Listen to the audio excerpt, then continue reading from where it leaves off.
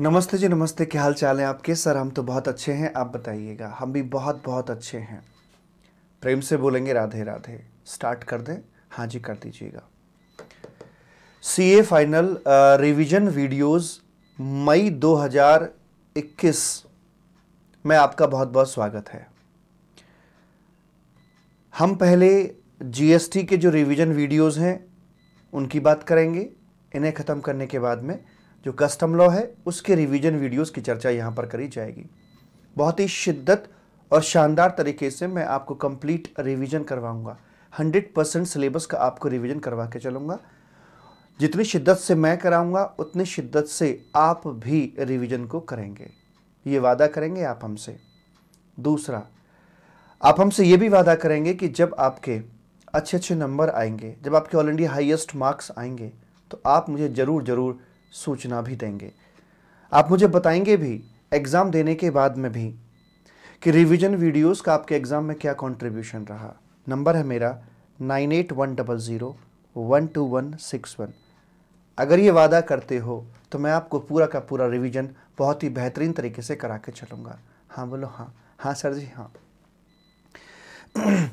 तो यहाँ पर ये जो हमारी कॉम्पैक्ट बुक है जीएसटी की उस कॉम्पैक्ट बुक को और जो हमारे अपने जो वॉल चार्ट्स हैं, उनको आधार बनाकर हम अपना रिवीजन करेंगे।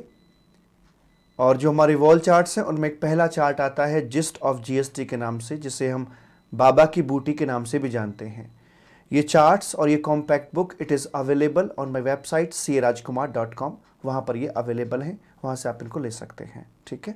अच्छा जी। तो सबसे पहले मैं यहाँ पर आता हूँ जिस्ट ऑफ़ जीएसटी करके है। और एक पूरा फ्रेमवर्क यहाँ पर बताया गया है। एक पूरा, एक सिस्टम बताया गया है कि जीएसटी किस प्रकार से ये फ्लो में आता है, कहाँ से शुरू होता है और कहाँ पर जाकर ये ख़त्म होता है। तो जैसा कि हम जानते हैं गुड्स एंड सर्विसेज़ टैक्स तो इसके लिए गुड्स या सर्विस का होना अति आवश्यक है। तो सबसे पहले पायदान पर यही चेक किया जाएगा कि जो भी हमारे क्लाइंट के यहाँ पर डील हो रही है, जो भी ट्रांजैक्शन हो रही है, वो गुड्स की ट्रांजैक्शन हो रही है या फिर वो एक सर्विस की ट्रांजैक्शन हो रही है। कोई भी चीज़ गुड्स है या सर्विस है या कुछ भी नहीं है, ये एक प्रकार का चक्रव्यू है, जहाँ पर आपके अलग अलग बॉक्सेस बने हुए हैं। और इस चक्रव्यू में से जो जहाँ से आउट हो जाएगा मतलब आउट हो जाएगा, वापस गेम में लौट कर नहीं आ सकता। वो गेम नहीं खेलते कि म्यूजिकल चेयर वाला खेलते हैं ना, वो गाना बजता है, लोग गोल गोल घूमते हैं, गाना बंद होता है, सब बैठ जाते हैं, उनमें से एक व्यक्ति को आउट कर दिया जाता है जो बैठ नहीं पाता। वैसे करके इस गेम में से जो आउट मतलब आउट बैक टू पवेलियन वापस वो गेम में लौट कर नहीं आएगा। गुड्स या सर्विस अगर कोई चीज़ बनती है तो मैं उससे अगला राउंड खेलूँगा। अगर गुड्स या सर्विस नहीं बनती है तो मैं उसे यहीं से बाहर निकाल दूँगा बैक टू पवेलियन जीएसटी में उसका ज़िक्र नहीं किया जाएगा। प्रेम से बोलेंगे, राधे राधे।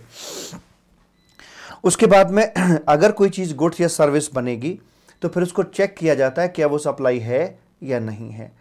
अगर वो सप्लाई है तो आगे बात करेंगे, सप्लाई नहीं है तो फिर यहीं से आउट करवा दिया जाएगा। क्योंकि हम जानते हैं, कई सारी चीज़ें ऐसी हैं जिनको सप्लाई नहीं माना जाता है।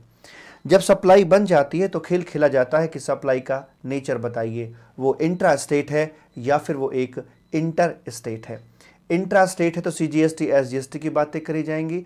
इंटर स्टेट है तो उसमें आई जी एस टी की बातें करी जाती हैं।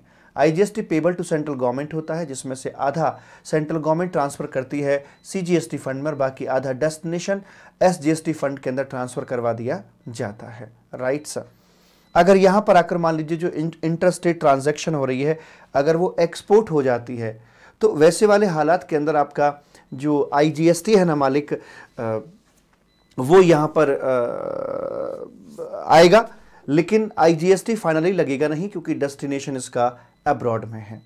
तो ये तीसरा गेट है कि हम कह सकते हैं कि जीएसटी से मुक्ति पाने का तीसरा दरवाज़ा यहाँ पर ये मौजूद है। उसके बाद में गुड्स या सर्विस की सप्लाई इंट्रा या इंटर होने मात्र से जीएसटी नहीं लग जाएगा। इसके लिए एक टैक्सेबल पर्सन भी होना चाहिए। ये गुड्स या सर्विस की सप्लाई एक टैक्सेबल पर्सन के हाथों से होनी चाहिए। अगर उसके हाथों से हो रही है तो जीएसटी लेवी होगा। अगर ये नॉन टैक्सेबल पर्सन के हाथों से हो रही है तो जीएसटी लेवी नहीं होगा। देखना यह है कि कौन टैक्सेबल पर्सन है और कौन टैक्सेबल पर्सन नहीं है। देखेंगे यहाँ पर चलकर एग्रीकल्चरिस्ट जो होता है वो टैक्सेबल पर्सन नहीं होता है। तो अगर एक एग्रीकल्चरिस्ट यहाँ पर गुड्स या सर्विस की सप्लाई इंटर या इंटर कर रहा है तो जीएसटी लेवी कदापि नहीं हो सकता है। राइट सर यस सर आगे बढ़िएगा। अगर वो टैक्सेबल पर्सन के हाथों से होती है उसके बावजूद भी एक आखिरी बॉक्स यहाँ पर बचता है, जिसकी वजह से आप जीएसटी से मुक्त हो सकते हैं। पाँचवें बॉक्स पर आकर एग्जाम्शंस आएँगी। एग्जाम्शंस में लगभग लगभग सौ एग्जाम्शंस आपके सर्विस सेक्टर में हैं और लगभग डेढ़ सौ एग्जाम्शंस आपकी गुड्स में हैं। गुड्स वाली एग्जाम्शन सिलेबस का हिस्सा आपका नहीं है सर्विस वाली एग्जाम्शन सिलेबस का हिस्सा है। सौ एग्जाम्शंस को मैंने चौदह हेड में डिवाइड कर रखा है। दान, धर्म, शिक्षा, स्वास्थ्य, खेल, सरकार, किसान, मनोरंजन। जीपीआरएस जीपीआरएस का मतलब goods transportation P for passenger transportation R for renting of immovable property GPRS S for socio economic activities BIB banking insurance और बिज़नेस रिलेटेड ऐसे करके हमारी यहाँ पर बात करी जाती है। सौ तरह की सर्विसेज़ आपके एग्जाम्प्टेड हैं। पाँच गेट दे रखे हैं। जीएसटी से बच निकलने के लिए सिर्फ़ पाँच दरवाजे हैं। या तो क्लाइंट क्या ऐसा खेल खेल दो कि उसके जो ट्रांजैक्शन है वो गुड्स या सर्विस की कैटेगरी में ही फॉल ना करे। या फिर वो सप्लाई ना बने। या फिर वो एक्सपोर्ट दिखे। या फिर बंदा टैक्सेबल पर्सन ना दिखे। या फिर उसके द्वारा दी जाने वाली सप्लाई एग्जेम्प्टेड कैटेगरी में आ जाए। इन पाँच में से कोई एक काम कर दिखाया तो करोड़ों लाखों के रुपए की फ़ीस आपको आपका क्लाइंट यहाँ पर दे देगा। लेकिन, अगर आप इन पाँचों गेट से बाहर नहीं जा पा रहे हैं तो अब यह तय है कि जीएसटी लग के रहेगा। दुनिया की कोई ताकत अब आपको जीएसटी से मुक्ति नहीं दिला सकती है। जब जीएसटी लगना ही है, तय हो गया है तो बताइए जीएसटी कितना लगाया जाएगा। यहाँ पर आकर जीएसटी कंपटीशन करा जाएगा, जिसके लिए हमारे पास दो स्कीम होती हैं। एक होती है रेगुलर स्कीम एक होती है हमारी कॉम्पोजिशन स्कीम तो क्या क्या होंगे कैसे कैसे बात करेंगे, उनकी चर्चा यहाँ पर करी जाएगी। यहाँ से तय हो जाएगा कितना अमाउंट जीएसटी का हमें देना होता है। उसके बाद अगला प्रश्न आता है कि ठीक है, ये तय हो गया कि बिल्ली के गले में घंटी बंधेगी। लेकिन उस घंटी को भाई साहब बांधेगा कौन? वो सप्लायर बांधेगा या रेसिपियंट बांधेगा? सप्लायर गवर्नमेंट को जीएसटी का पेमेंट करेगा या रेसिपियंट जीएसटी का पेमेंट सरकार को करके आएगा। इसके लिए चैप्टर आएगा आरसीएम का। गुड्स और सर्विसेज़ दोनों के केस में रिवर्स चार्ज की बातें करी जाती हैं। लगभग 20-25 सर्विसेज़ ऐसी हैं जहाँ पर सर्विसेज़ में रिवर्स चार्ज लगाया जाता है। सात आठ गुड्स ऐसे हैं जहाँ पर आरसीएम लगाया जाता है गुड्स सेक्टर में। गुड सेक्टर का आरसीएम सिलेबस का हिस्सा नहीं है, सिर्फ़ सर्विस सेक्टर का है। उस सर्विस सेक्टर को ही आरसीएम को ही हम यहाँ पर देखकर चलेंगे। उसके बाद में जब ये तय हो जाएगा कि भाई साहब जीएसटी का पेमेंट कौन करेगा? एनसीएम लगेगा या आरसीएम लगेगा? ये तय हो जाने के बाद में अगला नंबर आएगा कि जीएसटी कब भरा जाएगा? At what point of time उसका टाइम ऑफ़ सप्लाई क्या है? उसका सप्लाई का टाइम क्या है? सप्लाई का डे क्या है? यूँ तो बहुत सारी ट्रांजैक्शंस होती हैं जब एक घटना घटित होती है। एग्रीमेंट बनता है इनवॉइस कटता है पेमेंट होती है डिस्पैच होता है रिसीव होता है, बहुत सारे एलिमेंट उसके मौजूद होते हैं। ये तमाम एलिमेंट अलग अलग डेट पर मौजूद हो सकते हैं। तो इनमें से कौन सी वाली घटना को हम सप्लाई के नाम से बुलाकर चलें? सप्लाई डे कौन से दिन को मानकर चलें? जौन सा डे सप्लाई डे बनेगा father's day mother's day valentine's day चल रहा है आजकल। तो आ, ऐसे होता है एक सप्लाई डे। तो जौन सी डे पर हमारा सप्लाई डे बनता है उसी को आधार बनाकर अगले महीने की बीस तारीख को मैं जीएसटी का पेमेंट करना पड़ जाता है। वैसे करके यहाँ पर बात करी जाती है। और टाइम ऑफ़ सप्लाई निकलने के बाद में फिर हमारे कंप्लाइंस पार्ट यहाँ पर आते हैं। I M four R and I T C. आई का मतलब इन्वॉइस है एम का मतलब मैनर ऑफ़ पेमेंट है। उसके बाद return registration record refund and input tax credit ये हमारे कंप्लाइंस वाले चैप्टर यहाँ पर आ जाते हैं, जिनको हम क्रम से करके चलेंगे। हमारा जो पूरा फोकस पूरा पैटर्न होगा, वो ये होगा कि क्लाइंट वाइज अब सीए बनने के बाद आपको क्लाइंट वाइज ही काम करके चलना है। एग्ज़ाम में भी जब क्वेश्चंस आपके सामने आते तो आपको लिंकेज करनी आनी चाहिए। हमारी लिंकेज का जो पैटर्न रहेगा, वो यही पैटर्न रहेगा शुरू से लेकर आखिर तक कि भाई जब भी कोई ट्रांजेक्शन कोई छोटा क्वेश्चन कर रहे हैं बड़ा क्वेश्चन कर रहे हैं न्यूमेरिकल क्वेश्चन कर रहे हैं थ्योरेटिकल क्वेश्चन कर रहे हैं, या कोई प्रैक्टिकल लाइफ क्वेरी देख रहे हैं, ये चेक करो गुड से सर्विस है या नहीं? यस तो आगे बढ़ो। सप्लाई है या नहीं, आगे चेक करो। इंट्रा है या इंटर है, उसके बाद टैक्सेबल पर्सन है एग्जामेशन में तो नहीं है कंप्यूटेशन कैसे? RCM time of supply compliance बात खत्म। इस प्रकार से आप चीज़ को स्कैन कर सकते हैं, उसको लिंक कर सकते हैं, छोटे से छोटा और बड़े से बड़े कॉन्सेप्ट को आपको यहाँ पर चल के लिंक करना होता है। तो ये हमारा पैटर्न होगा बाबा की बूटी का। और इसमें हमारे जो गेट नंबर मैं बोलूँगा आगे चलकर, ये है गुड्स से service gate number one supply है गेट नंबर दो इंट्रा इंटर है गेट नंबर तीन टैक्सुअल पर्सन है गेट नंबर चार, और उसके बाद है आपका एग्जामेशन गेट नंबर पाँच। आगे फिर मैंने गेट नाम नहीं दिया है, आगे नाम दिए हैं बॉक्सेस क्योंकि गेट का मतलब बाहर जाने का रास्ता, और पहले पाँच बॉक्सेस से ही हम बाहर जा सकते हैं। छठवें बॉक्स से बाहर नहीं जा सकते, इसलिए यहाँ पर दिए हैं इसको पहले पाँच गेट से ही बाहर जाया जा सकता है, इसलिए पहले पाँच बॉक्सेस को ही गेट का नाम दिया गया है। राइट सर यस सर चले? या ये आ जाइए मेरी कॉम्पैक्ट बुक यहाँ पर आगे मालिक, और इसमें आकर हम बात कर रहे हैं। हमारे तमाम प्रकार के चैप्टर्स यहाँ पर दिए हुए हैं। इंट्रोडक्शन का चैप्टर आएगा कॉन्स्टिट्यूशन का आएगा definition administration introduction goods and services और उसके बाद में, यहाँ से बेसिकली बाबा की बूटी, ये जो अभी डायग्राम मैंने दिखाया, इसे बाबा की बूटी के नाम से भी बुलाते हैं। तो यहाँ से ये बाबा की बूटी का पैटर्न आपका शुरू हो जाता है, यहाँ से। ये जो इंग्लिश नंबर वाले आते हैं one two three good services supply place of supply taxable person exemption competition reverse charge invoice time of supply ITC registration payment return account वो सारे के सारे चैप्टर्स आपके यहाँ पर आ जाते हैं। उससे पहले हम बात करेंगे, यहाँ पर एक चैप्टर आएगा इंट्रोडक्शन का। जीएसटी का इंट्रोडक्शन देगा, संवैधानिक बातें करी जाएँगी। एंटायर जीएसटी के अंदर जितनी भी डेफिनेशंस हैं, उनको कंप्लीट किया जाएगा। फिर इसका एडमिनिस्ट्रेशन पार्ट देखेंगे, जो जीएसटी के अधिकारी हैं, उनकी चर्चा की जाएगी। उसके बाद थोड़ा आईजीएसटी की बातें करने के बाद, फिर अपना हम बाबा की बूटी के पैटर्न पर यहाँ आ जाएँगे, ठीक है? तो पहला चैप्टर है आपका ये इंट्रोडक्शन का। आइए मालिक, बात करते हैं इस चैप्टर की। आगे भी है refund assessment advance ruling audit inspection demand recovery penalties appeal सारे चैप्टर्स इसके अंदर आपके मौजूद हैं। तो यहाँ पर आकर आइए मालिक तो ये है आपका यहाँ से इंट्रोडक्शन का चैप्टर ये बुक मैं फास्ट ट्रैक बैच के अंदर अपने इस्तेमाल करके चलता हूँ। तो शुरुआत में मैंने यही बताया था आपको, शुरुआत यहीं से की थी कि टैक्स क्या होता है। कंपलसरी एक्सटॉशन ऑफ़ मनी जो होता है, उसे हम टैक्स के नाम से जानते हैं।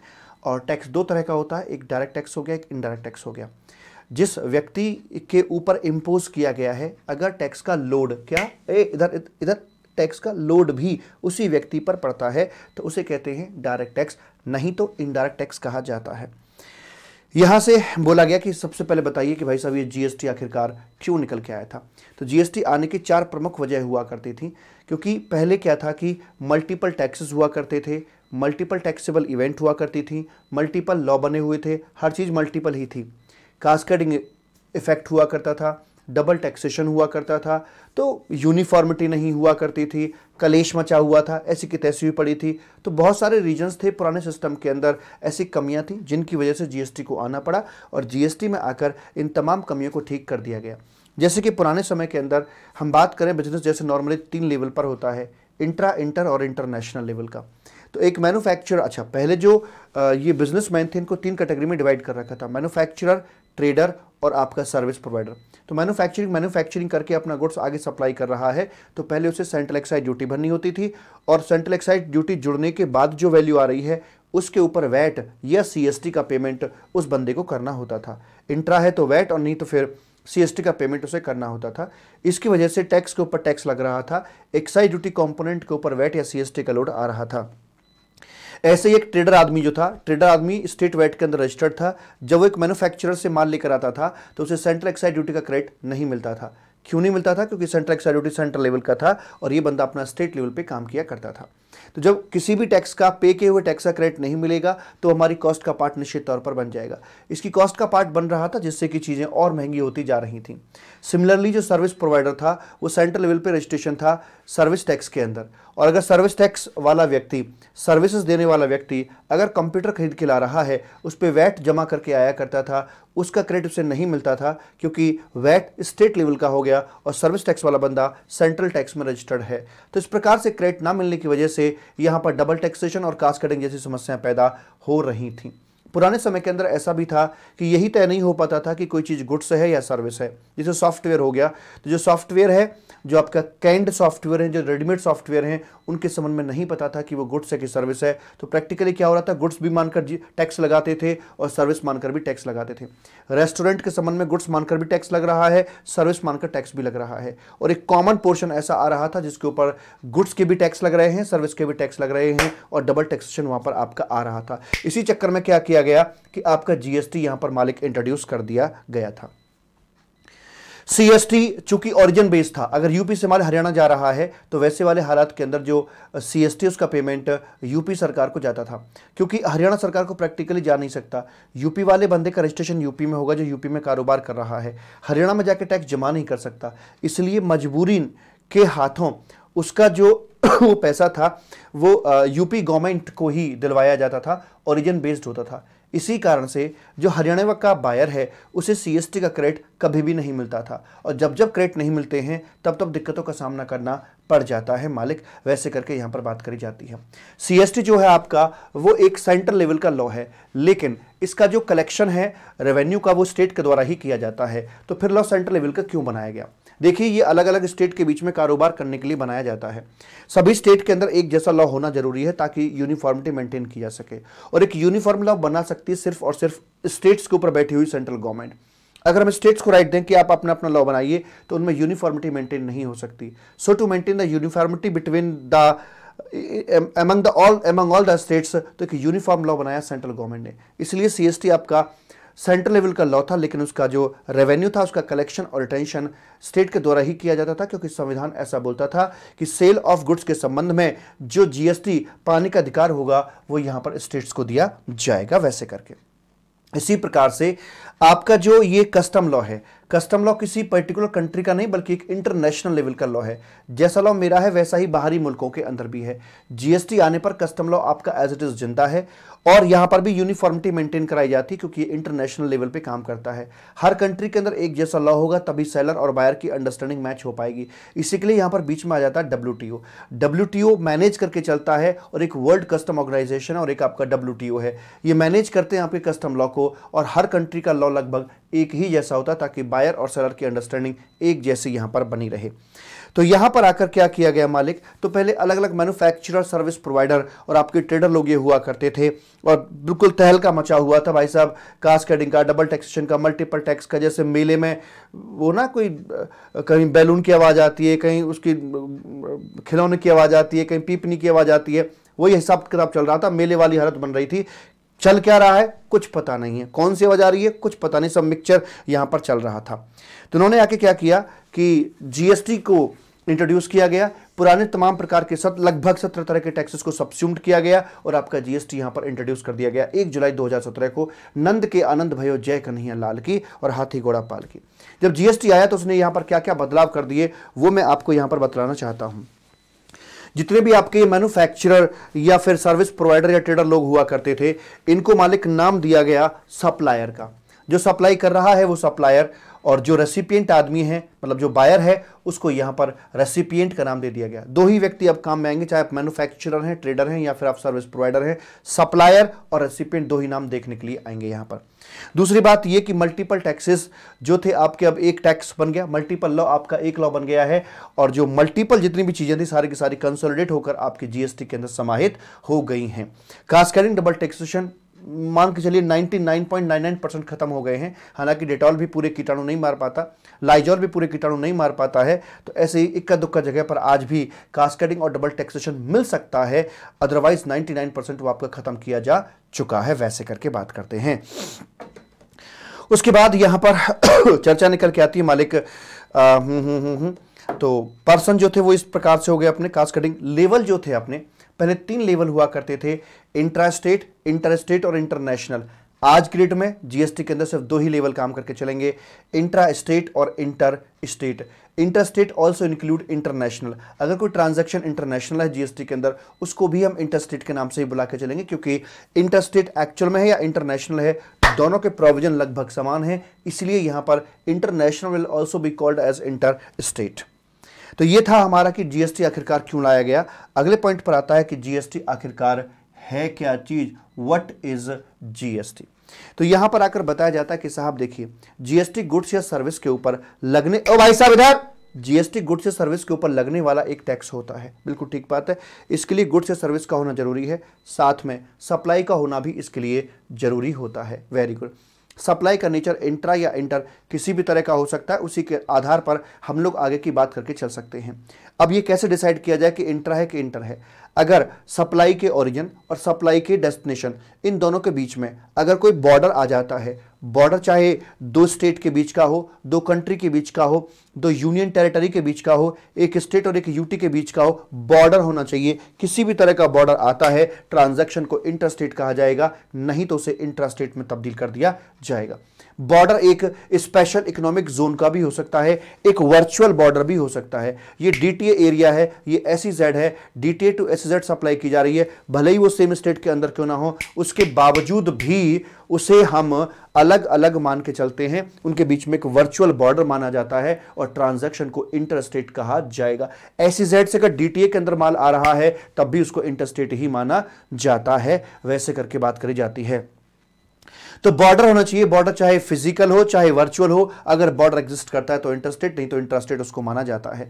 जब इंटरस्टेट की बात करेंगे तो सीजीएसटी प्लस एसजीएसटी या यूटीएसटी अपना लगाया जाता है, और जब हम लोग बात करते हैं अपने इंटरस्टेट की तो वहाँ पर आईजीएसटी अपना लगाया जाएगा। आईजीएसटी वास्तव में कोई टैक्स नहीं है, ये तो एक लिफाफे का नाम है। इसके अंदर जो मसाला भरा होता है, वो क्या होता है? CGST plus S G S T oblique U T G S T as the case में भी और ये पूरा का पूरा लिफाफा, यानी कि I G S T is sum total of C G S T plus S G S T oblique U T G S T होता है। और ये लिफाफा जो है आईजीएसटी नाम के लिफाफे में लपेट कर सेंट्रल गवर्नमेंट को दे दिया जाता है। सेंट्रल गवर्नमेंट इसमें से आधा पैसा ट्रांसफ़र करती है सीजीएसटी फंड के अंदर और बाकी आधा पैसा डेस्टिनेशन स्टेट फंड के अंदर या डेस्टिनेशन जो यूटी फंड है, उसके अंदर ट्रांसफ़र कर दिया जाता है। उसकी प्रैक्टिस यहाँ मैंने शानदार तरीके से करवा रखी कि intra to inter inter to intra, वैसे करके उसकी बात यहाँ पे करी जाती है।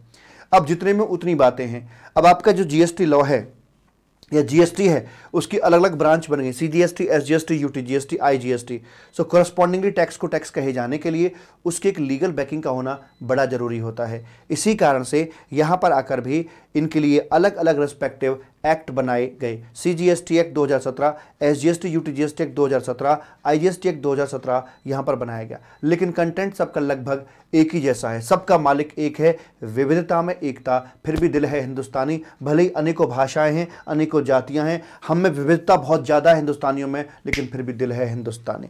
इसलिए लॉ सारा आपका एक ही है। ठीक है सर जी। उसके बाद में एक बनाया गया कॉम्पनसेशन जीएसटी कॉम्पनसेशन एक्ट बनाया गया कॉम्पनसेशन सेस एक्ट बनाया गया और एक बनाया गया कॉन्स्टिट्यूशन अमेंडमेंट एक्ट जीएसटी जब आया तो संविधान में बहुत सारे चेंजेस करने पड़े थे। उन तमाम चेंजेस को इनकॉर्पोरेट कर दिया गया, एक सिंगल एक्ट के अंदर जिसका नाम दिया गया है constitution amendment act 2016 right yes sir उसके बाद में यहाँ इंट्रोडक्शन का चैप्टर आपका चल रहा है। क्रेडिट के कॉन्सेप्ट की हमने बात करी है। पता नहीं कब कहाँ कैसे इस्तेमाल करना पड़ जाए। तो क्रेडिट कॉन्सेप्ट के लिए हमारा ज़रूरी होता है कि उसका यूटिलाइजेशन कैसे पॉसिबल है, कैसे किया जाता है। तो यहाँ पर बात करते हैं सी I S C I S और इसमें दो चीज़ ध्यान रखनी है। एक होता है एक्सटर्नल सिक्वेंस इनका एक होता है एक्सटर्नल सीक्वेंस एक होता है इंटरनल सीक्वेंस एक्सटर्नल सीक्वेंस में फ़र्स्ट ऑफ़ ऑल आईजीएसटी का इस्तेमाल करेंगे, फिर सीजीएसटी का और फिर एस जीएसटी का इस्तेमाल किया जाएगा और इंटरनल सीक्वेंस के अंदर जब आईजीएसटी की बात करेंगे तो पहले अपने के लिए फिर सी सीजीएसटी एसजीएसटी किसी के लिए भी इस्तेमाल कर सकते हैं और इंटरनल सीक्वेंस के अंदर सीजीएसटी पहले अपने के लिए और फिर आईजीएसटी के लिए और इसी तरीके से एसजीएसटी या यूटीजीएसटी पहले अपने के लिए फिर आईजीएसटी के लिए इस्तेमाल किया जा सकता है यानी कि first of all credit of IGST will be utilise for the payment of IGST and after that if balance is remaining then that may be utilized for the payment of CGST, SGST oblique UTGST in any ratio any sequence में इस्तेमाल किया जा सकता है second number पर CGST का credit इस्तेमाल किया जाएगा and the credit of CGST will be utilized for the payment of CGST उसके बाद अगर कुछ बचता है that will be utilized for the payment of IGST उसके बाद में एस जीएसटी का क्रेडिट आएगा that will be utilise for the payment of S GST अगर कुछ बचता है तो आईजीएसटी के लिए इस्तेमाल करवा दिया जाएगा राइट right है एकदम राइट है जी उसके बाद में आगे पॉइंट पर आइएगा। ऐसे ही यूटी जीएसटी का जो क्रेडिट होगा फ़र्स्ट ऑफ़ ऑल अपने के लिए इस्तेमाल किया जाएगा। अगर कुछ बच जाता है तो उसे इस्तेमाल किया जा सकता है आई आईजीएसटी के क्रेडिट के लिए। ऐसे करके यहाँ पर बात करी जाती है। चले आगे? हाँ सर जी, चलो। ये था आपका analysis of pre and post GST वो तो अब उसकी आवश्यकता नहीं है इस मूवमेंट पर रिवीजन के लिए। वो समझने के लिए होता है कि पहले लॉ में और अब के लॉ में क्या किस प्रकार से बदलाव यहाँ देखने को मिले हैं। ठीक है जी? तो उसके बाद में बेनिफिट्स ऑफ़ जीएसटी मुझे नहीं लगता कि आपसे क्वेश्चन पूछा जाएगा, लेकिन फिर भी बता सकते हैं। साहब मल्टीपल टैक्स खत्म हो गए मल्टीपल लॉ खत्म हो गए कास्केडिंग मर गया डबल टैक्सेशन खत्म हो गया रेवेन्यू सरकार का बढ़ गया ट्रांसपेरेंसी आ गई, सारे बिजनेसमैन की अस्थिति हो गई, जो चोरी करते थे। बाकी सब खुश हैं। सरकार के लिए बढ़िया है, विकास होगा। बहुत सारे पॉइंट इसके फ़ायदे में लिखे जा सकते हैं। विदेशी लोग इंडिया में आएँगे, क्योंकि यहाँ पर इंफ्रा टैक्स का इंफ्रा सुधर चुका है। इस तरीके से यहाँ पर बात करी जाती है। ये इसका बताया गया कि भाई किस प्रकार से जीएसटी इंडिया में आया था। तो सबसे पहले फ्रांस में इंडिया में आया था। 2004 में केलकर टास्क फोर्स ने इसका ज़िक्र किया था। उसके बाद में फिर 2017 में फाइनली इंडिया के अंदर आ ही गया। तो ये मुझे लगता है कि एग्ज़ाम में पूछा जाएगा, नहीं आएगा एग्ज़ाम में। आगे है जीएसटीएन जीएसटीएन एक वही आपका जीएसटी का पोर्टल हो गया, जिसे ओन्ड और मैनेज करता है जीएसटी नेटवर्क जो कि एक कंपनी है सेक्शन नंबर आठ ऑफ़ कंपनीज़ एक्ट के अंदर। उद्देश्य प्रॉफिट कमाना नहीं है।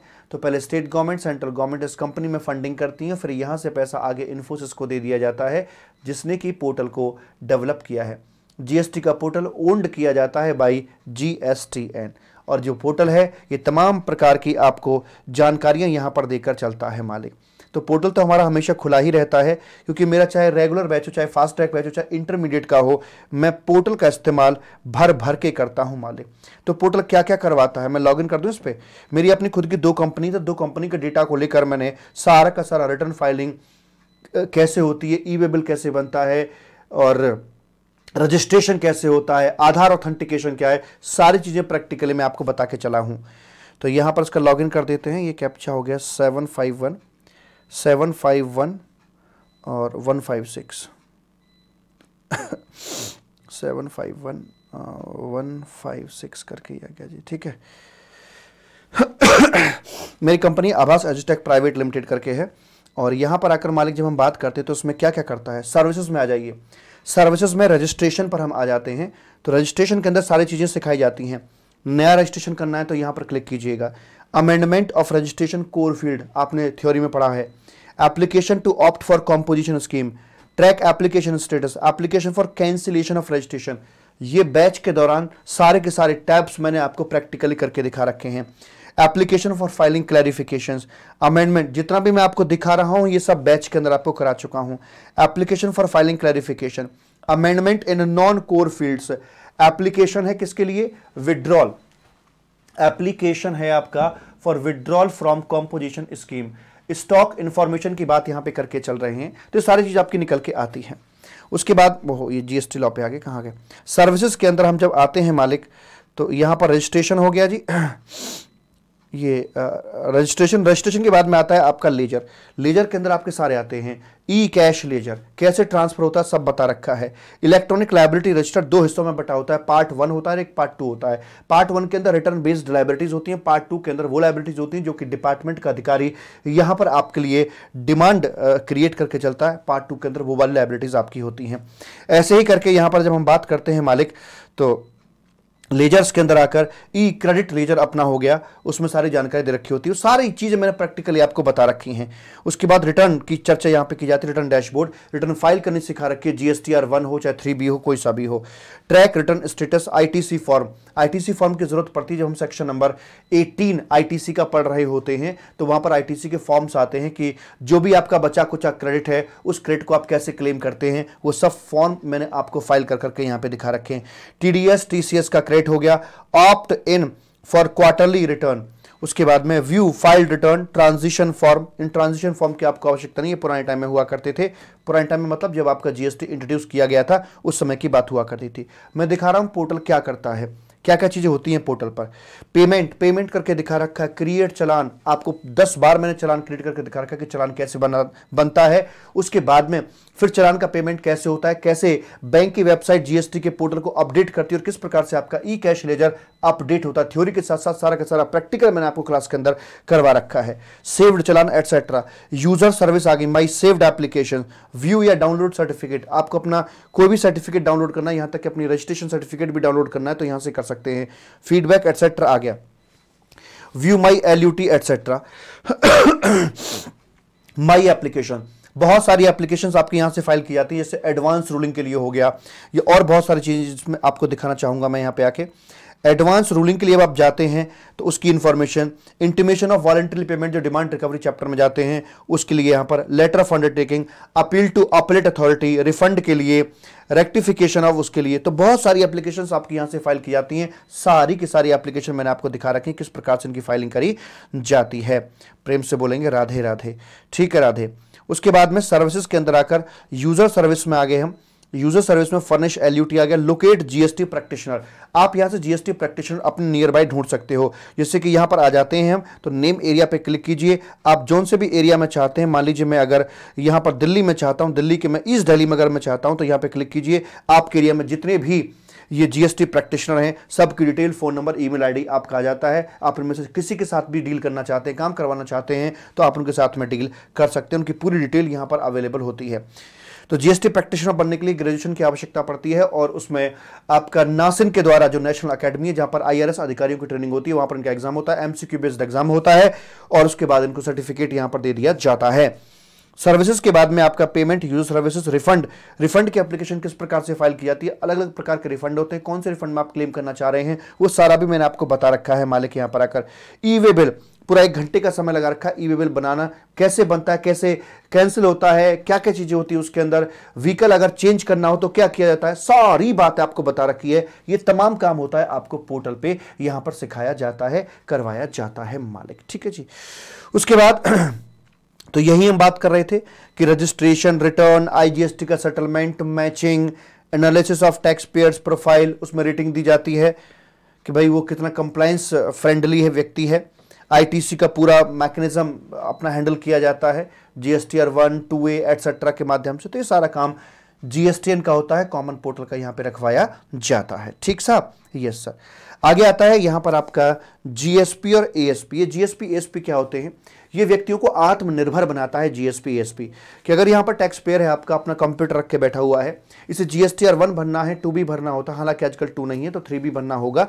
तो यहाँ पर क्या होगा कि इसके सिस्टम के साथ में एक सॉफ्टवेयर अटैच कर दिया जाता है, आठ हज़ार रुपए की कीमत होती है, वो सॉफ्टवेयर अटैच कर दिया जाता है और वो सॉफ्टवेयर जीएसटी पोर्टल के साथ कम्युनिकेट करता है। यानी कि टैक्स पेयर और जीएसटी पोर्टल के बीच में कम्युनिकेटर का काम करता है ये जीएसटी जीएसटी सुविधा प्रोवाइडर जो जीएसपी है ये यहाँ आपके सिस्टम से रॉ डेटा को पुल करेगा और जीएसटी के पोर्टल पर उस डेटा को पुश ये कर देता है।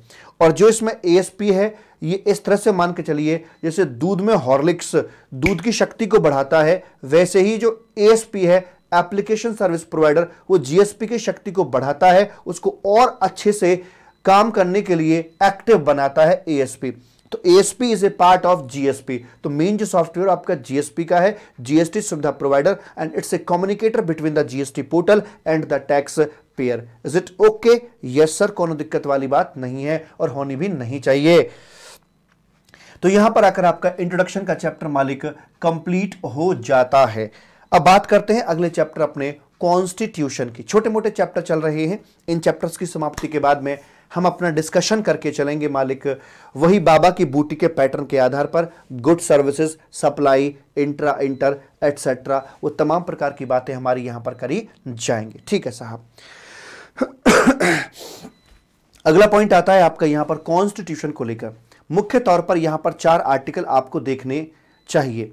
Article number 246 capital A article number 269 269 capital A article number 366 और आर्टिकल नंबर आ गया आपका 279 capital A article number 246 capital A ये बोलता है, अगर आपकी इंट्रा स्टेट सप्लाई है तो वहाँ पर सीजीएसटी एसजीएसटी जो भी आपके लेवी होते हैं, उनके लिए लॉ बनाने की पावर आपको है। यहाँ पर सेंट्रल गवर्नमेंट को सीजीएसटी के लिए और रेस्पेक्टिव स्टेट गवर्नमेंट को अपना लॉ बनाने की पावर यहाँ पर दी जाती है। साथ में यह भी बोलता है कि अगर आपकी ट्रांजैक्शन इंटरस्टेट है तो वहाँ पर आईजीएसटी लगेगा और आईजीएसटी लॉ बनाने की एक्सक्लूसिव पावर सेंट्रल गवर्नमेंट को दी जाती है। इज़ इट ओके और जब जहाँ पर हम इंट्रा की बात करते हैं तो सीजीएसटी और एसजीएसटी बनाने के लिए सेंट्रल गवर्नमेंट और स्टेट गवर्नमेंट दोनों को साइमल्टेनियस या शेयर्ड पावर वहाँ पर दी जाती है, क्योंकि जब भी हमारी इंटर ट्रांजैक्शन होगी तो सीजीएसटी एसजीएसटी दोनों के दोनों आपके लगाए जाते हैं। इसी आर्टिकल के अंदर एक एक्सप्लेनेशन ये दी हुई है कि फाइव पेट्रोलियम प्रोडक्ट जो हैं आपके, उन पर जीएसटी अभी नहीं है। हाँ नियर फ्यूचर में जब जीएसटी काउंसिल चाहेगी, तब से वहाँ पर जीएसटी लगाया जा सकता है। उसके बाद में आता है आपका यहाँ पर आर्टिकल नंबर 269 कैपिटल ए करके यहाँ पर आता है साहब, जो ये बताता है कि जो भी आईजीएसटी आपका लगाया गया है, वो आईजीएसटी 50 परसेंट जो C G S T fund में ट्रांसफ़र किया जाएगा और बाकी 50 परसेंट स्टेट गवर्नमेंट का उस पर राइट रखवाया जाता है, उसे क्लासिफिकेशन यहाँ पर किया जाता है। दूसरी एक और बात, जैसे कि नॉर्मली क्या होता है कि जो भी सेंट्रल लेवल के पास में टैक्सेस जाते हैं, उनका बयालीस प्रतिशत घूम स्टेट्स को ही दिया जाता है। अब यहाँ पर जो आईजीएसटी लगेगा, मान लीजिए हज़ार करोड़ का आईजीएसटी लगा है तो क्या हज़ार करोड़ पहले सेंट्रल गवर्नमेंट के पास में जाएगा? हज़ार करोड़ में से बयालीस परसेंट बांटने की बात कर रहे हैं, या पहले हज़ार करोड़ के टुकड़े कर दीजिए। हज़ार करोड़ के टुकड़े का मतलब 500 करोड़ सेंट्रल गवर्नमेंट का था, वो सेंट्रल गवर्नमेंट के पास में जाएगा। 500 करोड़ स्टेट गवर्नमेंट का तो स्टेट गवर्नमेंट के पास में जाएगा। जी हाँ ऐसा ही होगा। पहले जिसका जो बनता है वो दे दो। हज़ार करोड़ गया सेंट्रल गवर्नमेंट के पास ज़रूर है, लेकिन हज़ार करोड़ सेंट्रल गवर्नमेंट का नहीं है। उसमें से 500 करोड़ तो स्टेट गवर्नमेंट का है। तो 500 करोड़ स्टेट गवर्नमेंट को चला जाएगा, जिसका भी बनता है, और बाकी 500 करोड़ सीजीएसटी फंड में जाएगा। फिर इस 500 करोड़ जो सीजीएसटी फंड में से गया है, इसमें से और जो और भी इनके इनकम टैक्स वगैरह का जो पैसा होगा, उन सबका बयालीस प्रतिशत स्टेट्स के बीच में आगे बांटा जाएगा। तो कहने का मतलब यह है कि हज़ार करोड़ में का बयालीस प्रतिशत नहीं होगा, पहले हज़ार करोड़ का बंटवारा होगा, पाँच करोड़, फिर अपना जो पाँच करोड़ था सेंट्रल गवर्नमेंट का जो हिस्सा था, उसमें से बयालीस प्रतिशत यहाँ पर इनको बांटा जाता है। वैसी वाली बात यहाँ पे करी जाती हैं और इंटरनेशनल ट्रांजैक्शन को भी हम इंटर स्टेट के नाम से ही जानकर चलेंगे। और साथ में इसी आर्टिकल के अंदर यह बताया गया है कि प्लेस ऑफ़ सप्लाई को डिटरमिन करने की पावर एक्सक्लूसिवली सेंट्रल गवर्नमेंट को यहाँ पर दी जाती है। कोई भी ट्रांजैक्शन इंट्रा स्टेट होगी या इंटर स्टेट होगी, ये डिसाइड करेगी एक्सक्लूसिवली सेंट्रल गवर्नमेंट क्योंकि अगर इसको डिसाइड करने का अधिकार स्टेट गवर्नमेंट को दे दिया जाता तो हर स्टेट चाहता कि प्लेस ऑफ़ सप्लाई मेरे स्टेट में आके निकले और वहाँ पर लट चल जाते और सर फूट जाते। इसलिए सेंट्रल गवर्नमेंट ने कहा स्टेट्स तुम घर बैठे रहो। प्लेस ऑफ़ सप्लाई किस स्टेट में फॉल करेगा, इसके लिए नियम कानून एक्सक्लूसिवली हम बनाएँगे। इसमें स्टेट का पार्टिसिपेशन लॉ बनाने में नहीं होगा। राइट यस सर तो इसके बाद में आता है, आपका आर्टिकल नंबर 366 आता है, जो बताता है जीएसटी की परिभाषा क्या है।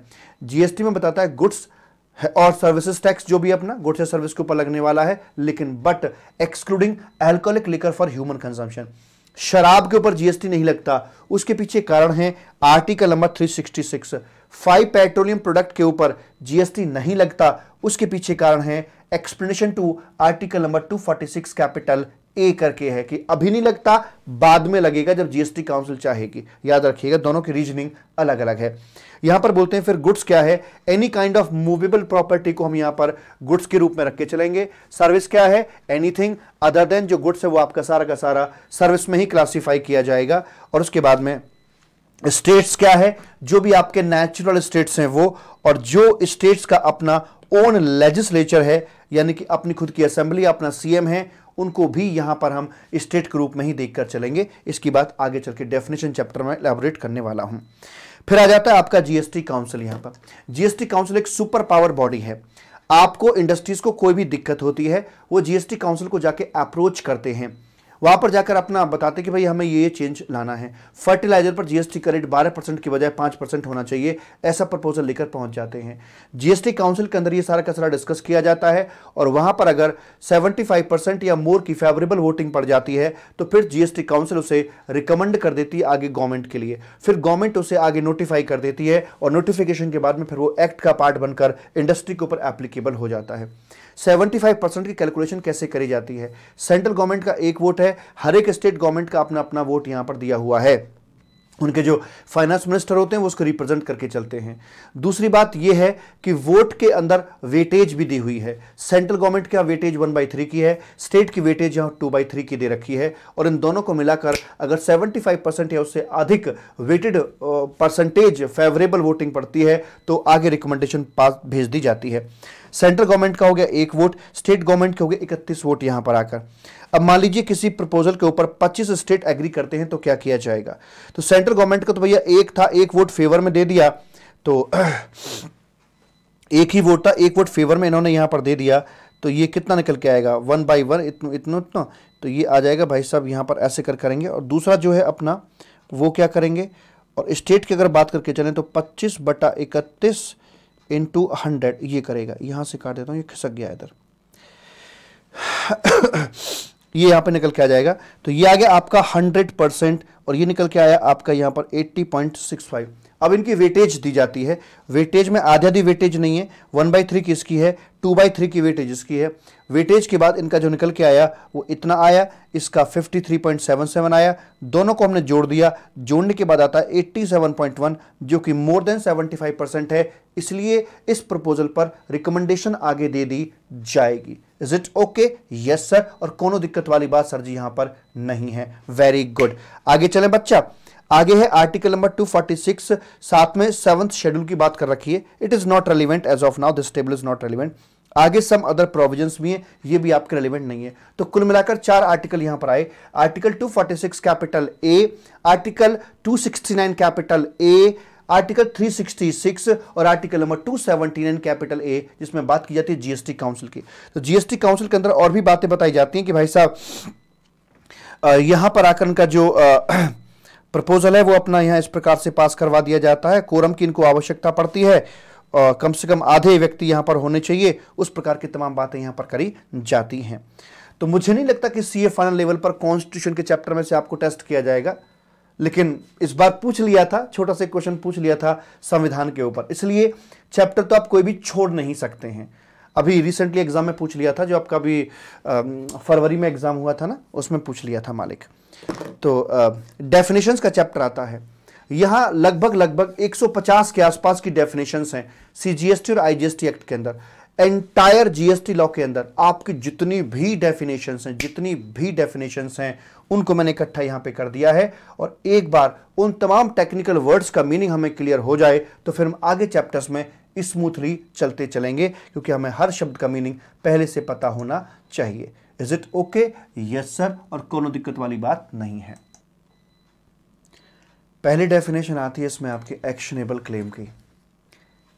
एक्शनेबल क्लेम क्या होता है और उसका क्या रोल है, मैं आपको बताता हूँ। देखिए एक्शनेबल क्लेम आपका गुड्स की कैटेगरी में रखवाया जाता है as per the definition of goods कहते किसे? एक्शनेबल क्लेम किसी भी प्रकार की जो कॉन्टीजेंट असेट होती है, उसे एक्शनेबल क्लेम कहा जाता है, जैसे कि पेंडिंग लिटिगेशंस इंश्योरेंस क्लेम का पैसा लॉटरी बैटिंग गैम्बलिंग एट्सेट्रा ये सारी की सारी चीज़ें आपकी एक्शनेबल क्लेम के तहत आती हैं, जो कि एक गुड्स होता है। लेकिन जब हम सप्लाई वाले बॉक्स पर आते हैं तो वहाँ पर यह बताया जाता है बैटिंग गैम्बलिंग और लॉटरी को छोड़कर बाकी जितनी भी फॉर्म ऑफ़ एक्शनेबल क्लेम है, वो आपकी सप्लाई नहीं मानी जाएँगी, उन पर आपका जीएसटी नहीं लगाया जाएगा। कारण साफ़ है कि बैटिंग गैम्बलिंग लॉटरी पर पहले जीएसटी लगाया जाता था। आज सॉरी पहले एक पुराना टैक्स स्टेट गवर्नमेंट लेवल का लगाया जाता था, इसलिए आज जीएसटी भी लगाया जाता है। बाकी फॉर्म ऑफ़ एक्शनेबल क्लेम के ऊपर पहले कोई किसी प्रकार के टैक्स की बात नहीं की जाती थी। इसी वजह से आज भी वहाँ पर कोई किसी प्रकार के टैक्स की बात नहीं की जाती है। उस घटना को सप्लाई ही नहीं माना जाता है। Right sir. वही बात आपकी यहाँ पर लिखी हुई है। उसके बाद में आगे बोलते हैं व्हाट अबाउट डीटीएच वाउचर्स जिसमें कि सर्टेनिटी होती है। एक्शनेबल क्लेम में सर्टेनिटी नहीं होती है। लेकिन जहाँ पर सर्टेनिटी होती है that can thing can not be called as actionable claim आगे है एड्रेस ऑफ़ डिलीवरी नाम से पता लग रहा है। एड्रेस ऑफ़ डिलीवरी डिलीवरी का एड्रेस, जिस एड्रेस पर डिलीवरी होनी है। यानी कि यहाँ पर ये रेसिपियंट के एड्रेस की बात कर रहा है। If you know the address of delivery इसका मतलब आपको गुड्स का डेस्टिनेशन पता है। और अगर आपको उसका डेस्टिनेशन पता है तो फिर आपका प्लेस ऑफ़ सप्लाई वहीं पर बनाया जाएगा। इंट्रा या इंटर डिसाइड करते समय प्लेस ऑफ़ सप्लाई की ज़रूरत पड़ती है। उस समय हमें इस शब्द की ज़रूरत पड़ती है कि एड्रेस और डिलीवरी क्या है। अगर हमें पता है तो वही प्लेस आपका प्लेस ऑफ़ सप्लाई वहाँ पर बन जाता है। ठीक है जी। तो बेसिकली जो एड्रेस का रेसिपियंट होता है रेसिपियंट का जो एड्रेस होता है, जो इनवॉइस पे लिखा हुआ होता है, वही होता है एड्रेस ऑफ़ डिलीवरी आगे है एड्रेस ऑन रिकॉर्ड किसका एड्रेस किसके रिकॉर्ड में? रेसिपिएंट का एड्रेस रेसिपिएंट का एड्रेस सप्लायर के रिकॉर्ड में। आपका एड्रेस मेरे रिकॉर्ड में आपने pen drive Google drive purchase किया है। आपका एड्रेस मेरे रिकॉर्ड में है। इसका मतलब ये हो गया कि I know your location I know your state I know your city और विलेज एट्सेट्रा अगर सप्लायर को रेसिपिएंट की लोकेशन पता होती है तो वैसे वाले मामले के अंदर प्लेस ऑफ़ सप्लाई वहीं पर बनाया जाता है। तो प्लेस ऑफ़ सप्लाई कहो या इंट्रा इंटर को डिसाइड करने के लिए इन शब्दों की हमें ज़रूरत पड़ती है और interest sorry address on record का मतलब हो गया रेसिपिएंट का एड्रेस सप्लायर के रिकॉर्ड में हो तो ऐसे किया जाता है। एडजुडिकेटिंग अथॉरिटी कौन सी हो गई? एक होती है तमाचा मारने वाली अथॉरिटी यहाँ होता है टैक्स पेयर बीच में होता है बोर्ड सीबीआईसी समझाने बुझाने के लिए और फिर यहाँ पर होती है आपकी एक अपिलेट अथॉरिटी यहाँ पर होती है। तो एडजुडिकेटिंग अथॉरिटी यहाँ पर है, जिसमें आपके an authority which is competent to pass an order ACDC additional commissioner joint commissioner commissioner ये सभी एडजुडिकेटिंग अथॉरिटी के हिस्से में आते हैं। लेकिन आपकी appellate authority appellate tribunal high court supreme court ये एडजुडिकेटिंग अथॉरिटी का हिस्सा नहीं बनते हैं। Advance ruling authority, it's a different authority, ये एडजुडिकेटिंग अथॉरिटी का हिस्सा नहीं बनेगी, वो तो पूछताछ केंद्र है।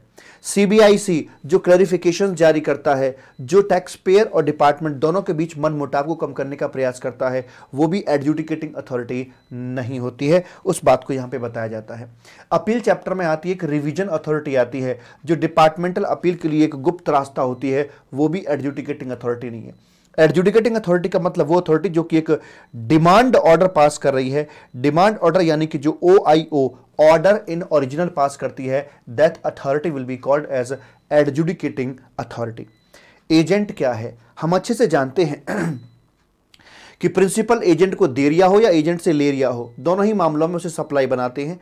भले ही वो आपकी एफ़ क्यों ना हो, ऐसा हमने पहले से पढ़ रखा है। एजेंट किसे कहेंगे? वो व्यक्ति जो दूसरे के बिहाफ पर काम करता है। और सुनो, एक बड़ा शब्द बिहाफ वो व्यक्ति जो दूसरे के बिहाफ पर काम करता है, ऐसे व्यक्ति को एजेंट कहा जाता है। प्रिंसिपल कौन हुआ?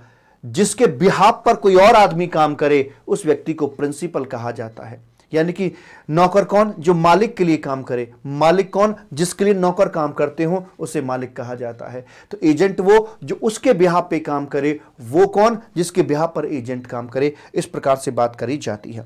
यहाँ पर एजेंट का मतलब उस वाले एजेंट से है, जिसके थ्रू इनवॉइसिंग करी जाती है। जिसके हृदय में होकर इन्वॉइसिंग का तार निकलता है उस वाले एजेंट को यहाँ पर हम बात करके चल रहे हैं। प्रिंसिपल ने एजेंट को बिलिंग करी, एजेंट आगे कस्टमर को बिलिंग करता है, इस वाले एजेंट की बात कर रहे हैं, इसे रेस्पॉन्सिबल एजेंट भी कहा जाता है।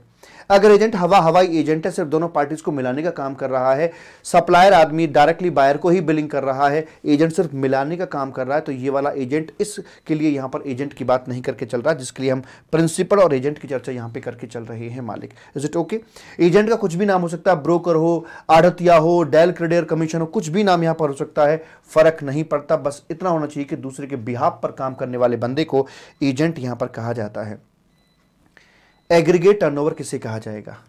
एग्रीगेट टर्नओवर के लिए, पहली बात, आप मुझसे टर्नओवर पूछोगे तो मैं आपको अपनी सेल बताऊँगा या परचेज बताऊँगा? ऑब्वियसली बात, अपनी सेल बताऊँगा। तो मेरी ऑल आउटवर्ड सप्लाई जो है, उनको मैं यहाँ पर एग्रीगेट टर्नओवर में ऐड करूँगा। इनवर्ड सप्लाई से मुझे कोई मतलब नहीं है। चाहे वो एनसीएम की हो, चाहे वो आरसीएम की हो। आउटवर्ड को छोड़ूँगा नहीं, इनवर्ड को छेड़ूँगा नहीं। आउटवर्ड होनी चाहिए और सप्लाई होनी चाहिए। अगर कोई घटना सप्लाई नहीं है तो यहाँ पर नहीं आएगी। ट्रांसफ़र टू जॉब वर्कर जो होता है वो सप्लाई नहीं बनता, इसलिए वो आउटवर्ड सप्लाई की कैटेगरी में, इस कैलकुलेशन में नहीं आएगा। आउटवर्ड सप्लाई में चाहे इंट्रा हो, इंटर हो, टैक्सेबल हो, या ज़ीरो रेटेड हो, कैसी भी हो, आउटवर्ड हो और सप्लाई हो, वो यहाँ पर आपकी काउंट कर ली जाएगी। प्रेम से बोलेंगे राधे राधे। प्रिंसिपल और एजेंट के बीच में जब सप्लाई होती है तो वो आपके एजेंट के हैंड में काउंट करी जाती है, ना कि प्रिंसिपल के हैंड में काउंट करी जाती है। अगर प्रिंसिपल आदमी, मुख्य आदमी जॉब वर्कर के यहाँ से अपना माल बेच दे तो वो भी प्रिंसिपल की ही आउटवर्ड सप्लाई में काउंट किया जाता है।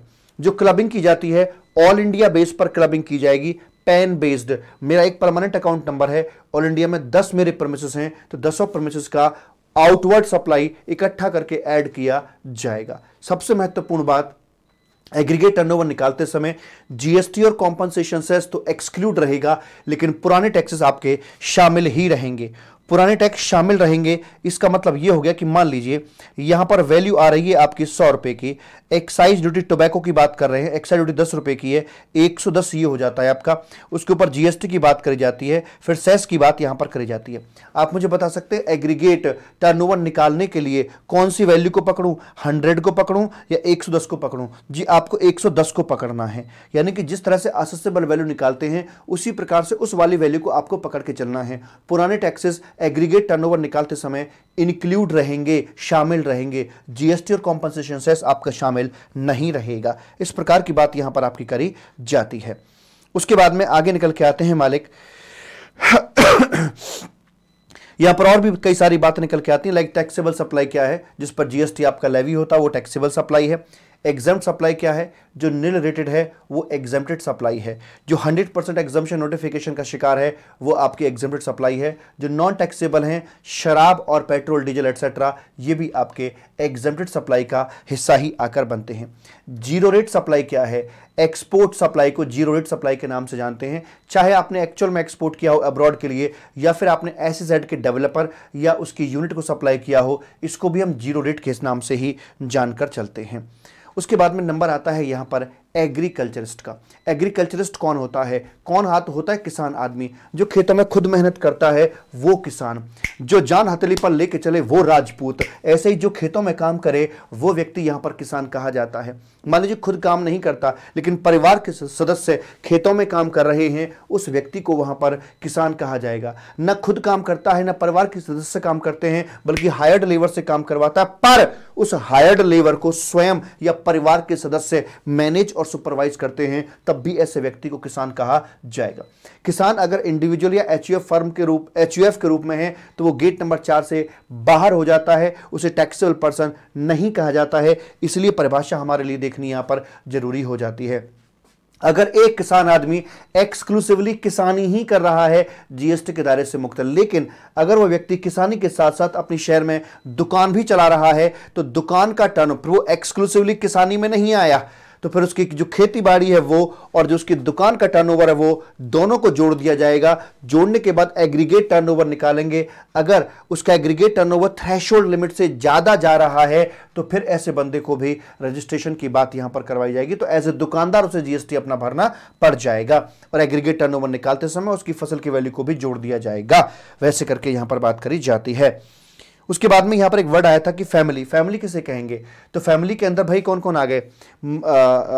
पति, पत्नी, ये तो है ही फैमिली का हिस्सा और बच्चे। पति, पत्नी और मतलब हम दो, हमारे दो। ये तो अनकंडीशनली ऑलवेज फैमिली का हिस्सा है ही है। लेकिन इसके साथ साथ माता पिता भाई बहन माता पिता और भाई बहन और दादा दादी ये परिवार का हिस्सा तब बनेंगे अगर ये आपके ऊपर डिपेंडेंट हैं तो।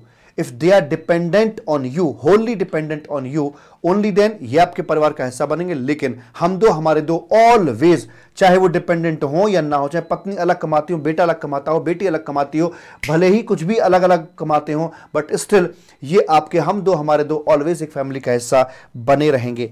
अपिलेट अथॉरिटी क्या है? अपलेट अथॉरिटी वही, जैसे आपके इनकम टैक्स के अंदर सीआईटी अपील होता है, वैसे यहाँ पर आपकी अपलेट अथॉरिटी होती है। अपलेट ट्रिब्यूनल जैसे इनकम टैक्स के अंदर आईटीएटी होता है, यहाँ पर आपका जीएसटी अपलेट ट्रिब्यूनल रखवाया जाता है। अपॉइंटेड डे का मतलब हो गया एक जुलाई 2017 जिस दिन जीएसटी इस धरती पर आया था। उसके बाद असेसमेंट क्या? असेसमेंट प्यार की तरह होता है, जैसे एक तरफा प्यार, भगोड़ा प्यार, दोबारा प्यार, है, ऐसे करके। तो वो नहीं सुना आपने? एक लड़की थी दीवाने से, गलियों से गुजरा करती थी। शायद कहना था कुछ उसको, जाने किससे डरती थी? जब भी मिलती थी मुझसे तो बस यही पूछा करती थी। ये असेसमेंट कैसे होता है? और मैं मैं सिर्फ़ यही कह पाता। क्या? कि determination of tax liability as per law it is called as assessment इसको असेसमेंट यहाँ पर कहा जाता है, ऐसे करके। असेसमेंट के कई रूप होते हैं, जैसे कि खुद से प्यार सेल्फ असेसमेंट कच्चा कच्चा प्यार प्रोविजनल असेसमेंट फटाफट वाला असेसमेंट फटाफट वाला प्यार स्क्रूटनी दोबारा प्यार reassessment of non filers return जिन्होंने फ़ाइल नहीं करी रीअसेसमेंट ऑफ़ नॉन रजिस्टेंट ये नॉन फाइलर और नॉन रजिस्टेंट इसमें होता है बे जजमेंट बे जजमेंट का मतलब एक्स पार्टी एक्स पार्ट मतलब एक तरफा प्यार। तो एक तरफा प्यार भी है, दोबारा प्यार भी है, कच्चा प्यार, खुद से प्यार, दोबारा प्यार, फटाफट वाला प्यार अलग अलग प्रकार का।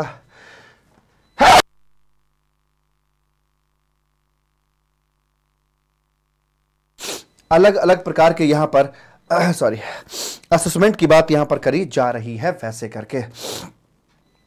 उसके बाद में आते हैं आपके एसोसिएटेड एंटरप्राइजेस एसोसिएट एंटरप्राइज इन शब्दों का इस्तेमाल किया जाता है टाइम ऑफ़ सप्लाई चैप्टर के अंदर जाकर मालिक। वहाँ इसकी चर्चा करी जाती है। क्या चर्चा करते हैं? वो कहता है section 92 F income tax act के अंदर जो एसोसिएट एंटरप्राइजेस का मतलब दे रखा है, वही यहाँ पे लिया जाएगा। एग्ज़ाम्पल के तौर पर अगर एक दूसरे में 26 परसेंट से ज़्यादा होल्ड करता है तो आपस में उनको भाई भाई कहा जाता है। टाइम ऑफ़ सप्लाई में स्पेशल प्रोविज़न इसके लिए यहाँ पर यह दे रखा है कि अगर इंपोर्ट ऑफ़ सर्विस की जाती है और इन बिटवीन एसोसिएट एंटरप्राइज की जाती है तो वहाँ पर जो टाइम ऑफ़ सप्लाई निकाला जाएगा, वो ऐसे निकालेंगे कि पेमेंट कि पेमेंट की डेट हो गई वो डेट और और बुकिश एंट्री की date in the books of recipient whichever is whichever is earlier वो यहाँ पर आकर टाइम ऑफ़ सप्लाई बना दिया जाता है। प्रेम से बोलेंगे राधे राधे। ठीक है साहब? हाँ जी। आगे बात करते हैं ऑडिट ऑडिट का मतलब ऑडिट ही होता है और क्या? Examination of books of account हो गया जी। ऑथोराइज्ड बैंक हम किसे बोल के चलते हैं यहाँ पर? ऑथोराइज्ड बैंक किसे कहा जाएगा? बोलो बोलो बोलो। हाँ जी। तो ऑथोराइज्ड बैंक ये वो वाले बैंक होते हैं जो जीएसटी पोर्टल से टाइड अप्ड हैं। जब हम जीएसटी का पेमेंट करते हैं तो पोर्टल पर दिखता है कि which bank you are selected करीब 26-27 बैंक्स हैं, जिनकी लिस्ट जीएसटी पोर्टल पर अवेलेबल है, जिनके थ्रू जीएसटी का टैक्स का इंटरेस्ट का, इन सभी का पेमेंट किया जाता है। तो जिन मतलब जिनके पेमेंट गेटवे कनेक्टेड हैं जीएसटी पोर्टल के साथ, उनको यहाँ पर ऑथोराइज्ड बैंक कहा जाता है। ठीक है जी? यस सर ऑथोराइज रिप्रेजेंटेटिव कौन है? जो हमें रिप्रेजेंट करे किसी अथॉरिटी के सामने, वो हमारा एम्प्लॉय हो सकता है, वो हमारा भाई हो सकता है, वो हमारा रिश्तेदार हो सकता है, उसे हम एक ऑथोराइजेशन लेटर बना कर देते हैं और वो हमें किसी भी अथॉरिटी के सामने जाकर रिप्रेजेंट कर सकता है। ये एक जीएसटी प्रैक्टिशनर भी हो सकता है। हम जीएसटी प्रैक्टिशनर को भी ऑथराइज करके अपने आप को रिप्रेजेंट कराने के लिए किसी अधिकारी के समक्ष भेज सकते हैं। तो जो जीएसटी प्रैक्टिशनर होगा, वो हमारे ब्याह पर सारा काम कर सकता है, वो रिटर्न भी फ़ाइल कर सकता है जीएसटी का पेमेंट भी कर सकता है, और रिफंड क्लेम कर सकता है कंपटीशन के लिए ऑफ्ट फॉर कर सकता है, बहुत सारे काम हमारे ब्याह पर कर सकता है, और ऐसे वाले व्यक्ति को यहाँ पर हम ऑथोराइज रिप्रेजेंटेटिव के नाम से बुलाकर चलते हैं। प्रेम से बोलेंगे, राधे राधे। चले आगे? हाँ जी, चलो। CBIC central board of indirect taxes and customs के नाम से इसको जाना जाता है। ये बोर्ड जो बेसिकली दो होते हैं, एक सीबीडीटी हो गया और एक अपना सीबीआईसी हो गया। तो वैसे करके इसकी बात यहाँ पर करी जाती है। तो इसका काम होता है बेसिकली जब टैक्स पेयर और आपका ये जो डिपार्टमेंट होता है, जब भी दोनों में झगड़ा होता है तो टाइम टाइम पर ये क्लैरिफिकेशन के लिए सर्कुलर्स जारी करता रहता है, ताकि दोनों पार्टीज़ के बीच में समन्वय बना रहे कोऑर्डिनेशन बना रहे मेल भाव बना रहे, आपस में झगड़ा ना हो। बिज़नेस की जो परिभाषा है, ये आपके लिए खुद पढ़नी है। और मुझे बताना कि ऐसा क्या है जो बिज़नेस वर्ड के अंदर इन्होंने कवर नहीं किया। Each and everything is covered under the wordings business एक परिभाषा हुआ करती थी बिज़नेस वर्टिकल की। ये खत्म हो चुकी है।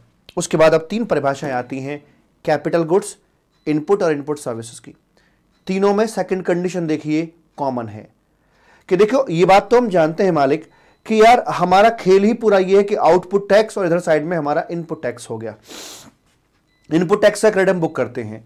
इनवार्ड सप्लाई में या तो गुड्स लेकर आएँगे या सर्विस लेकर आएँगे। तो गुड्स या सर्विस जो भी लेकर आ रहे हैं that must be use for the purpose of business या intended to be use for the business business के लिए इस्तेमाल कर रहे हो या करोगे, ऐसा होना चाहिए आपका इरादा। अगर ऐसे आपके इरादे हैं तो हम इनका क्लासिफिकेशन कर देते हैं। गुड्स को दो कैटेगरी में बांट दिया जाता है, इनपुट और कैपिटल गुड्स। अगर आपका जो गुड्स खरीदने में एक्सपेंडिचर कैपेक्स था, कैपिटल एक्सपेंडिचर था, गुड्स खरीदने में एक्सपेंडिचर कैपिटल एक्सपेंडिचर था तो उसको कैपिटलाइज करते हैं, कैपिटल गुड्स बोलते हैं। अगर आपका रेवेन्यू नेचर का एक्सपेंडिचर था तो उसे यहाँ पर इनपुट के नाम से जाना जाएगा और अकॉर्डिंगली उस पर जो भी हमने टैक्स चुकाया है, जो भी इनपुट टैक्स था, उसका क्रेडिट हम अपनी किताब में बुक कर लेते हैं एज इनपुट टैक्स क्रेडिट इसी प्रकार से अपने बिज़नेस पर्पज के लिए हम जो भी सर्विस यहाँ पर ले रहे हैं तो उससे जो भी हमारा टैक्स चुकाया है, जो भी उसके संबंध में इनपुट टैक्स है, उसका क्रेडिट हम अपनी किताबों के अंदर बुक कर लेते हैं और वो अपना इनपुट सर्विस यहाँ पे कहा जाता है। तो वही वाली बात आपकी यहाँ है। कैपेक्स है और बिज़नेस संबंधी है तो capital goods revenue expenditure business संबंध इस्तेमाल हो रहा है तो फिर आपका बन जाएगा ये इनपुट और किसी भी तरह की सर्विस है बिज़नेस पर्पज के लिए इस्तेमाल हो रही है या होगी तो उसे यहाँ पर आकर इनपुट सर्विस का दर्जा दे दिया जाता है। प्रेम से बोलेंगे, राधे राधे। आगे बढ़ो बाबू। कैजुअल टैक्सेबल पर्सन की यहाँ पर बात कर रहे हैं। इसमें यह बताता है कि देखिए वो व्यक्ति जो बेसिकली बंजारे होते हैं बाई नेचर उनका दूसरे स्टेट में कोई स्थायी ठिकाना नहीं होता है और वो ऐसे ही भटकते रहते हैं। तो सरकार ऐसे व्यक्तियों से हर हाल में जीएसटी वसूल करना चाहती है, इसीलिए इनके लिए स्पेशल प्रोविज़न बनाकर दिए हुए हैं। Five days in advance GST में रजिस्ट्रेशन करवाना है। फाइव डेज़ इन एडवांस इन्हें जीएसटी का पेमेंट करना है। मैंने एक्चुअल में पोर्टल पे करके दिखा रखा है आपको कि जब इसका रजिस्ट्रेशन एडवांस में कर रहे होते हैं तो वहीं बीच में आता है कि are you casual taxable person registration के दौरान ही। हाँ बोलते ही आपके सामने आ जाएगा, भैया, जो पेमेंट किया है, उसकी डिटेल दीजिए।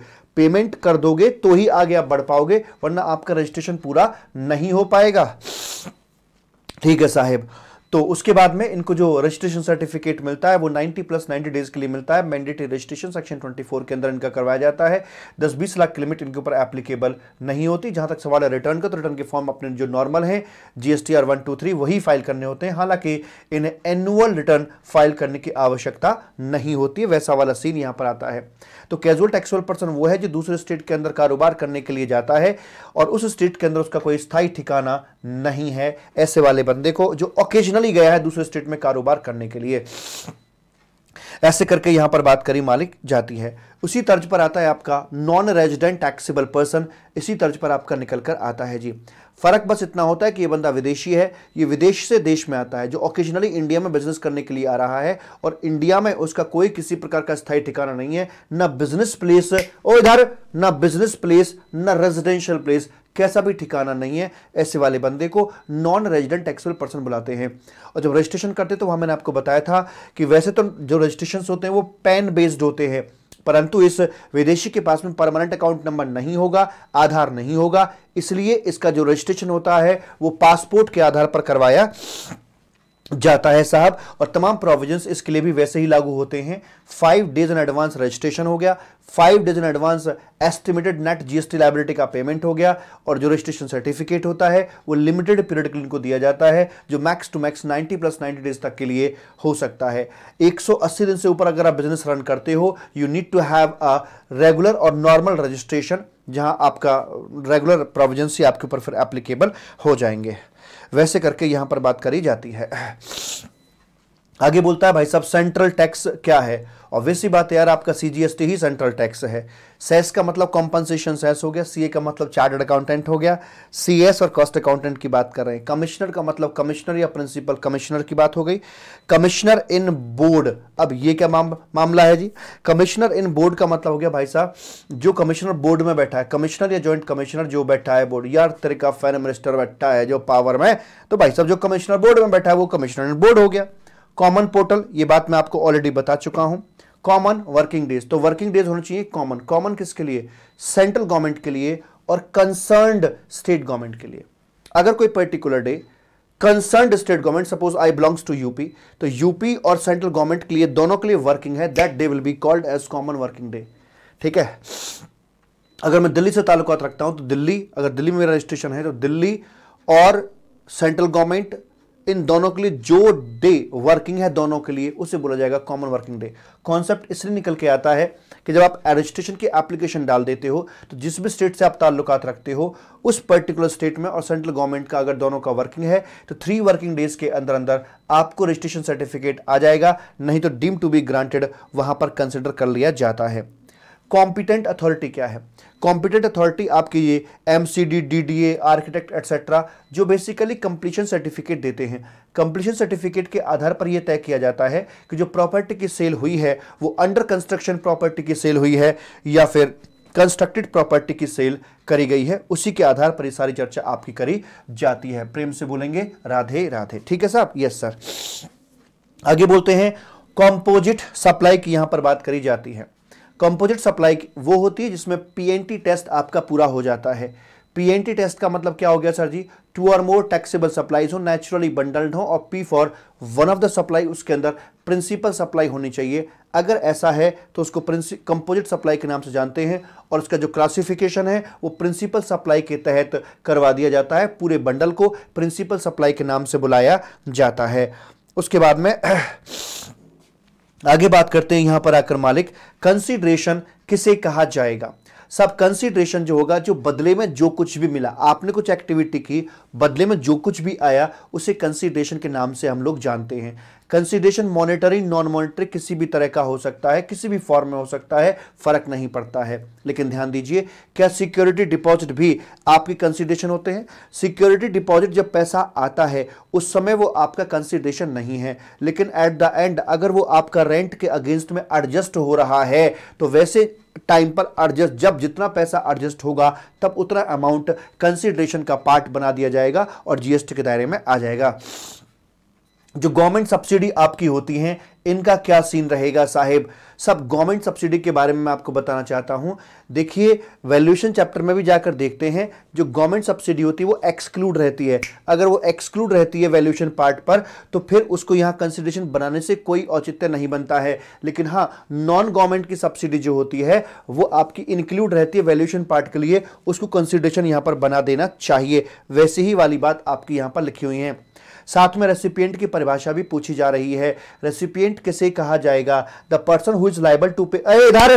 The person who is liable to pay consideration उसे रेसिपिएंट यहाँ पर कहा जाएगा। लेकिन अगर सप्लाई एफओसी हो तो क्या होगा? अगर एफओसी तो the person to whom I have delivered the goods or rendering the services that person will be called as a recipient of goods or services और इसमें उनका एजेंट अगर कोई है तो उसको भी यहाँ पर शामिल किया जाएगा। वैसे करके इसमें बात करी जाती है। मालिक प्रेम से बोलेंगे, राधे राधे। जी। Continuous supply of goods continuous supply of goods का मतलब क्या होता है और कहाँ पर इसका इस्तेमाल किया जाता है? जहाँ पर गुड्स की लगातार सप्लाई हो रही हो। या रुक रुक के भी हो रही हो तो भी चलेगा। चाहे पाइपलाइन के माध्यम से हो रही हो, चाहे रोड के माध्यम से हो रही हो, कैसे भी हो रही हो, लगातार हो रही हो। और जहाँ पर पीरियोडिकली इनवॉइस इशू किए जाते हों। तो उस तरह की सिचुएशन को हम बोलते हैं continuous supply of goods invoice का जब चैप्टर आता है तो वहाँ देखने को मिलता है कि ऐसे वाले मामले के अंदर जो इनवॉइस आपको कहाँ इशू करना होता है। सेक्शन थर्टी वन बोलता है कि ऐसे वाले मामले में जब पीरियोडिकली आपका हिसाब होता है स्टेटमेंट की जो डेट आती है, उस हिसाब की डेट पर आपको इनवॉइस इशू करना मैंडेटरी होता है। साथ में ये भी बोलता है कि अगर आपने पेमेंट हिसाब की डेट से पहले कर दिए तो फिर पेमेंट की डेट पर आपको इन्वॉइस इश्यू करना मैंडेटरी हो जाता है। इस तरह की चर्चा वहाँ पर करी जाती है। उसके बाद माता है कंटिन्यूस सप्लाई ऑफ़ सर्विसेज़ पहली बात सर्विस लगातार होनी चाहिए या रिकरेंट जैसे बारिश होती है ना, एक तो मूसलाधार बारिश होती है कि रुकी ना रही है भाई साहब। एक ऐसी होती है कि बारिश लगातार हो रही है, पर 10-15 मिनट के लिए बंद हो जाती है, फिर शुरू हो जाती है तो वो भी लगातार वाली कैटेगरी में ही आती है। आपकी कॉन्करेंट हो या फिर आपकी कंटिन्यूसली हो या फिर रिकरेंट नेचर की हो, दोनों आएँगी। नंबर दो। नंबर दो ये कि उसमें एक एग्रीमेंट आपका होता है और उस एग्रीमेंट के अंदर पीरियोडिक पेमेंट के ऑब्लिगेशंस होने चाहिए। अगर ऐसा कुछ है तो फिर वो आपकी सप्लाई को हम कंटिन्यूस सप्लाई ऑफ़ सर्विस मानकर चलते हैं। ऐसे वाले मामले के अंदर, जो इनवॉइस का चैप्टर है, उसमें एक प्रोविज़न ये लिखा आता है इनवॉइस हमें किस पॉइंट ऑफ़ टाइम पर इश्यू करना होता है? तो जब जब पेमेंट ड्यू हो रखी होती है एज पर द एग्रीमेंट उस डेट पर आपको इन्वॉइस रेज करना मैंडेटरी हो जाता है। लेकिन अगर एग्रीमेंट से ड्यू डेट रिफ्लेक्ट नहीं हो रही होती है तो ऐसे वाले मामलों में जब जब पेमेंट हो जाती है, तब तब उसका इन्वॉइस इशू किया जाता है। या या फिर एग्रीमेंट से कोई माइलस्टोन दिख रहे होते हैं कि ये ये माइलस्टोन की पूर्ति होने पर हम पेमेंट करके चलेंगे तो वो वो माइलस्टोन के पूरा होने पर इन्वॉइस रेज करना मैंडेटरी हो जाता है। ऐसे करके वहाँ पर बात करी जाती है। ठीक है जी? यस सर उसके बाद में अगला पॉइंट आता है आपका कन्वेंस का। कन्वेंस का मतलब जितने भी ट्रांसपोर्टेशन के माध्यम होते हैं, सारे के सारे आपके कन्वेंस वर्ड के अंदर ही शामिल किए जाते हैं। ठीक है, सर जी। कोई दिक्कत वाली बात यहाँ तक तो नहीं है। उसके बाद आगे आइएगा। कॉस्ट अकाउंटेंट का मतलब क्या है? कॉस्ट अकाउंटेंट का मतलब कॉस्ट अकाउंटेंट से ही है। काउंसिल का मतलब क्या है? काउंसिल मींस जीएसटी काउंसिल हो गया, जो कि आर्टिकल नंबर 279 कैपिटल ए के तहत आपकी बनाई जाती है। क्रेडिट नोट और डेबिट नोट। यहाँ होता है आपका ये इनवॉइस इनवॉइस का एक है दाया हाथ, जो डेबिट नोट कहा जाता है। एक होता है बाया हाथ, जो इसका क्रेडिट नोट कहा जाता है। मेन इनवॉइस के अंदर कुछ भी अगर बढ़ाना है तो डेबिट नोट, कुछ भी घटाना है तो क्रेडिट नोट का इस्तेमाल किया जाता है। इसमें पॉजिटिविटी है, इसके अंदर नेगेटिविटी है। कैसे? अगर मान लीजिए आपने मेन इनवॉइस अंडर वैल्यू का काट दिया है, उसकी वैल्यू को आपने बढ़ाना है। तो बढ़ाने के लिए आपको क्या करना पड़ेगा? मैं आपको वो चीज़ बता रहा हूँ। सर जी बढ़ाने के लिए हम बताएँ क्या करेंगे? हाँ हाँ बताओ ना क्या करोगे? अगर अंडर वैल्यू कर दिए तो बढ़ाने के लिए आपको एक डेबिट नोट इश्यू करना पड़ता है। और जब डेबिट नोट आपका इश्यू हो जाएगा तो फिर वो अपकमिंग जो आपका जीएसटीआर वन जाना है, उसके अंदर वो आपका अपडेट करवा दिया जाएगा। क्लासेस के दौरान मैंने आपको बता रखा है कि किस प्रकार से जीएसटीआर वन के अंदर डेबिट नोट को दिखाया जाता है। तो डेबिट नोट उसके अंदर दिखा देंगे। जैसे जीएसटी आर वन के माध्यम से डेबिट नोट पहुंचेगा आपके पोर्टल पर तो वहाँ पर जाकर जो आपका ई लाइबिलिटी रजिस्टर है, उसमें भी वैल्यू आपकी ऐड हो जाती है। उसमें लाइबिलिटी आपकी ऐड हो जाती है ई लाइबिलिटी रजिस्टर के अंदर। दूसरी साइड में जो आपने जीएसटी आर वन फ़ाइल कर दिया है उसके आधार पर जब जीएसटीआर टू ए के अंदर रेसिपियंट को इन्फॉर्मेशन पहुँचती है तो उसके आधार पर वो बंदा अपना आईटीसी क्लेम करता है और उतने अमाउंट का आईटीसी उसका e credit ledger accordingly update करवा दिया जाएगा। तो डेबिट नोट से मेन इनवॉइस की वैल्यू बढ़ी सप्लायर का ई लाइबिलिटी रजिस्टर में लाइबिलिटी बढ़ गई और सामने वाले का क्रेडिट भी बढ़ जाता है। ऐसे करके इसका अपोजिट होता है क्रेडिट नोट अगर मान लीजिए किसी कारणवश आपकी मेन इनवॉइस में ओवर बिलिंग हो गई है तो वैसे वाले मामले के अंदर उसे कम करना पड़ेगा। कम करने के लिए टूल इस्तेमाल किया जाएगा क्रेडिट नोट का। जैसे क्रेडिट नोट इश्यू किया जाएगा, ध्यान दीजिए, चूँकि मेन इन्वॉइस सप्लायर ने इश्यू किया था, इसलिए डेबिट और credit note that is issued by the supplier only that will be relevant in GST scenario recipient अगर इशू करता है तो उसका जीएसटी में कोई लेना देना नहीं होगा। तो रेसिपिएंट ने यहाँ पर सप्लाई ने यहाँ पर क्रेडिट नोट अपना इश्यू कर दिया। अब क्या होगा? जैसे ही क्रेडिट नोट को इन्वॉइस के साथ मर्ज करोगे, ये उसकी वैल्यू को घटा देगा। जैसे अपकमिंग जीएसटीआर वन के अंदर शो किया जाएगा जीएसटीआर वन के अंदर जाएगा तो जो उसके e cred e e liability register के अंदर जो सप्लायर की लाइबिलिटी है, इसकी लाइबिलिटी भी घट जाती है। और फिर एक credit note GSTR two A के माध्यम से पहुंचेगा जब रेसिपियंट के पास में तो वहाँ पर जाकर इसका जो ई क्रेडिट लेजर है, वहाँ से भी इसका क्रेडिट कम हो जाएगा। तो जो क्रेडिट नोट है, जहाँ पर भी जाएगा, वो कमावेशी करके चलेगा नेगेटिविटी ही फैलाएगा। अंडर वैल्यू का इनवॉइस कब कट जाता है, उसके अलग अलग रीजन हो सकते हैं। आपने गुड्स की जो यूनिट रेट था, उसे कम लगा दिया टैक्स का रेट कम लगा दिया कोई और भी वजह हो सकती है। और ओवर इन्वॉइसिंग कैसे हो जाती है? आपने जीएसटी का रेट ज़्यादा चार्ज कर लिया यूनिट रेट ज़्यादा चार्ज कर लिया, या क्वांटिटी में कुछ आगे पीछे कर दिया, किसी भी कारण से ओवर इन्वॉइसिंग हो सकती है। अगर माल रिजेक्ट हो जाता है तो आपको पुराना इन्वॉइस बिल्कुल ही खत्म करना पड़ेगा तो वहाँ पर आपको क्रेडिट नोट इश्यू करना पड़ता है। वैसी वाली बात आपकी यहाँ पर रखवाई जाती है। डेबिट नोट इश्यू करने की कोई लास्ट डेट नहीं होती, लेकिन क्रेडिट नोट के आधार पर चूँकि लाइबिलिटी कम हो जाती है, इसलिए सरकार बोलती है कि भैया, अगले साल का सितंबर और एनुअल रिटर्न फाइलिंग की date whichever is earlier वहाँ तक आप क्रेडिट नोट इश्यू कर सकते हो, वैसी वाली बात बताई जाती है। उसके बाद में ये हमारी तमाम चर्चा होने के बाद में अगली डेफिनेशन आती है डीम्ड एक्सपोर्ट की। डीम्ड एक्सपोर्ट का मतलब हो जाता है कि जब एक मैन्युफैक्चरर इन इंडिया है रिफंड वाले चैप्टर में इन पर डिटेल में चर्चा की जाएगी, क्योंकि वहाँ पर एक होती है ज़ीरो रेटेड सप्लाई और एक होता है आपका डीम्ड एक्सपोर्ट दो अलग अलग कॉन्सेप्ट वहाँ पर चलते हैं। तो जो आपका डीम्ड एक्सपोर्ट है when we are supplying goods to hundred percent U U H T P S T P etcetera it is called as deemed export और रिफंड वाले चैप्टर में इसका ट्रीटमेंट ये रखा है कि इस तरह की ट्रांजैक्शंस पर ऑलवेज जीएसटी आपका चार्ज किया जाएगा। और जहाँ तक सवाल है कि उसका आगे ट्रीटमेंट क्या होगा तो ट्रीटमेंट में या तो रेसिपिएंट आदमी उस जीएसटी का क्रेडिट बुक कर ले, बात खत्म। क्रेडिट बुक नहीं कर पा रहा है तो रेसिपियंट उसका रिफंड क्लेम कर सकता है, या फिर वो कुछ भी नहीं करना चाह रहा तो रेसिपिएंट बोलेगा, भाई साहब, मैं कुछ नहीं कर रहा। सप्लायर को ऑथराइज करेगा कि आप रिफंड क्लेम कर लीजिएगा। तो सप्लायर यहाँ पर रिफंड क्लेम उस जीएसटी का कर सकता है। तो इस प्रकार का ट्रीटमेंट आगे देखने के लिए हमें इसका मिलता है। डेजिग्नेटेड अथॉरिटी इसका कहीं कोई रेलिवेंस नहीं है। डॉक्यूमेंट का मतलब इलेक्ट्रॉनिक मैनुअल कैसा भी हो। ड्रॉबैक का मतलब ड्यूटी ड्रॉबैक से है, जिसे हम कस्टम लॉ के अंदर अपना पढ़ के चलते हैं। ई कैश लेजर हो गया आपका। ये तो छोटी मोटी बातें हैं। ई लाइबिलिटी रजिस्टर ये ये सारी बात हो गई। ई कॉमर्स का मतलब वही अपना ई इलेक्ट्रॉनिक जो पोर्टल है e commerce operator Flipkart etcetera ये सब हो गया। एग्ज़ाम सप्लाई की बात हम ऑलरेडी कर चुके हैं। फैमिली का मतलब ऑलरेडी बात कर चुके हैं। फिक्स्ड इस्टेब्लिशमेंट मतलब ब्रांच ऑफ़िस हो गए अपने। फंड का मतलब कंज्यूमर वेलफेयर फंड गुड्स की बात हो गई। गवर्नमेंट का मतलब central government compensation cess GST practitioner की बात हो गई। इंडिया का मतलब क्या है? इंडिया में आपका जो भी लैंड पार्ट ऑफ़ इंडिया, वो इंडिया है। बारह नॉटिकल माइल तक का जो पानी है, वो भी आपका इंडिया की सीमा में ही काउंट किया जाता है। उसके ऊपर की हवा, नीचे का पाताल, सब कुछ उसके अंदर ही काउंट किया जाता है। उसके आगे जो ई ई जेड एरिया है टी डब्ल्यू आई के बियॉन्ड का जो एक नॉटिकल माइल है, उस ई जेड या कॉन्टिनेंटल शेल्फ एरिया के अंदर जो भी ऑयल रिक्स हैं, उनको भी हम डीम्ड इंडिया का दर्जा देकर चलते हैं और अकॉर्डिंगली वहाँ पर भी जीएसटी की चर्चा करी जाती है। उसके बाद चर्चा को और आगे बढ़ाया गया मालिक और, और आगे चल के क्या बोलते हैं? भला सुनिए हमारी बात। आईजीएसटी एक्ट हो गया ठीक है जी।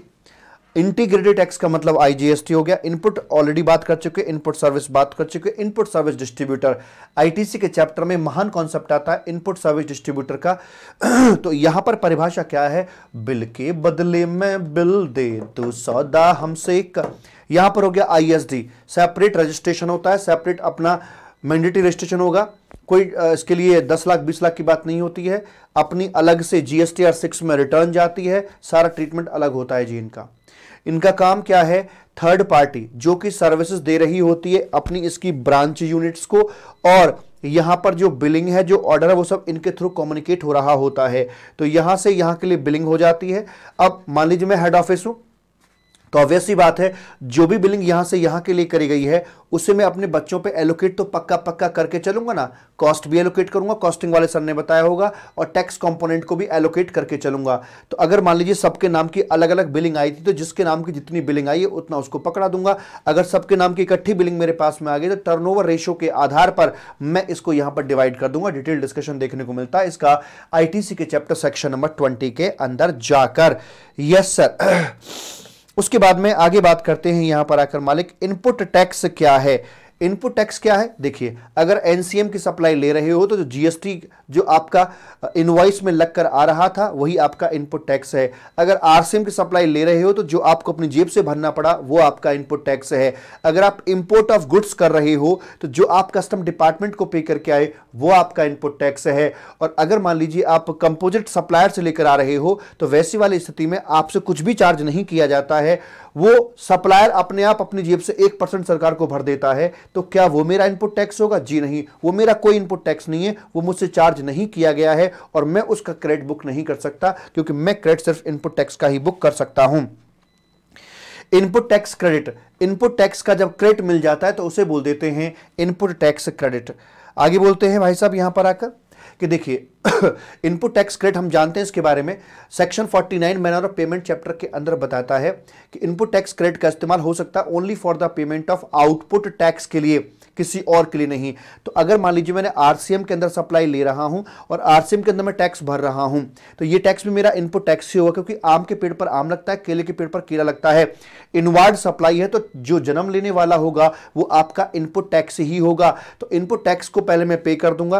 क्या इसको पे ऑफ़ करने के लिए मैं, मेरा कोई आई से इस्तेमाल कर सकता हूँ? The answer is no because it is my input tax not output tax तो it has to be paid in cash और पेमेंट मैंने कर दिया। क्या मैं इसका क्रेडिट भी ले सकता हूँ? यस पेमेंट भी मैं ही करूँगा कैश में और क्रेडिट भी मैं लेके चलूँगा। ध्यान देना क्वेश्चन में पक्का आएगा कि जब भी आरसीएम की बात हो रही होगी तो कैश में मुझे पे करना और मैं उसी महीने में उसका क्रेडिट भी अपना बुक करके भी चलूँगा।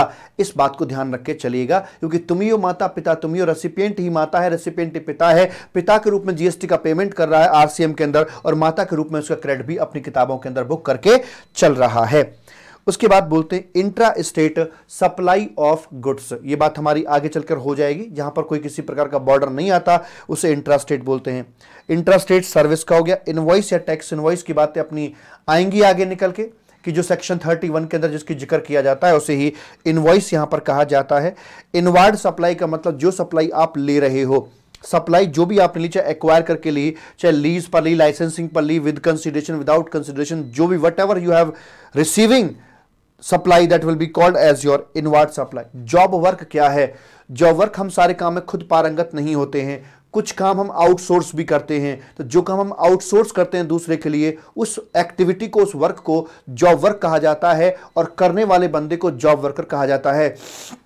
जहाँ तक जीएसटी के प्रोविजंस का सवाल है when I am transferring my goods to a job worker that transaction will not be considered as supply and no question of GST at all and the person doing any activity on my goods the activity may be called as a supply of service as per schedule number 2 even though the person mix any goods like color etc तो वो अपनी service भी दे रहा है goods भी mix कर रहा है।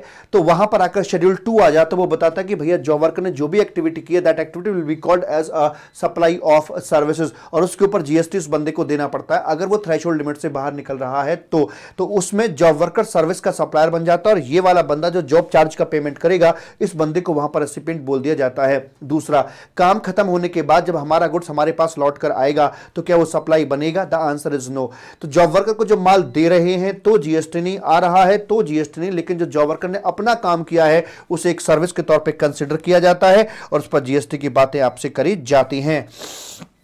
लोकल अथॉरिटी का मतलब वही दिल्ली डेवलपमेंट अथॉरिटी हो गया कैंटोनमेंट बोर्ड हो गया जैसे भाई सेंट्रल गवर्नमेंट होती है स्टेट गवर्नमेंट होती है, तीसरे नंबर पर आती है आपकी लोकल अथॉरिटी हालाँकि जीएसटी में लोकल अथॉरिटी का कोई समावेश नहीं है।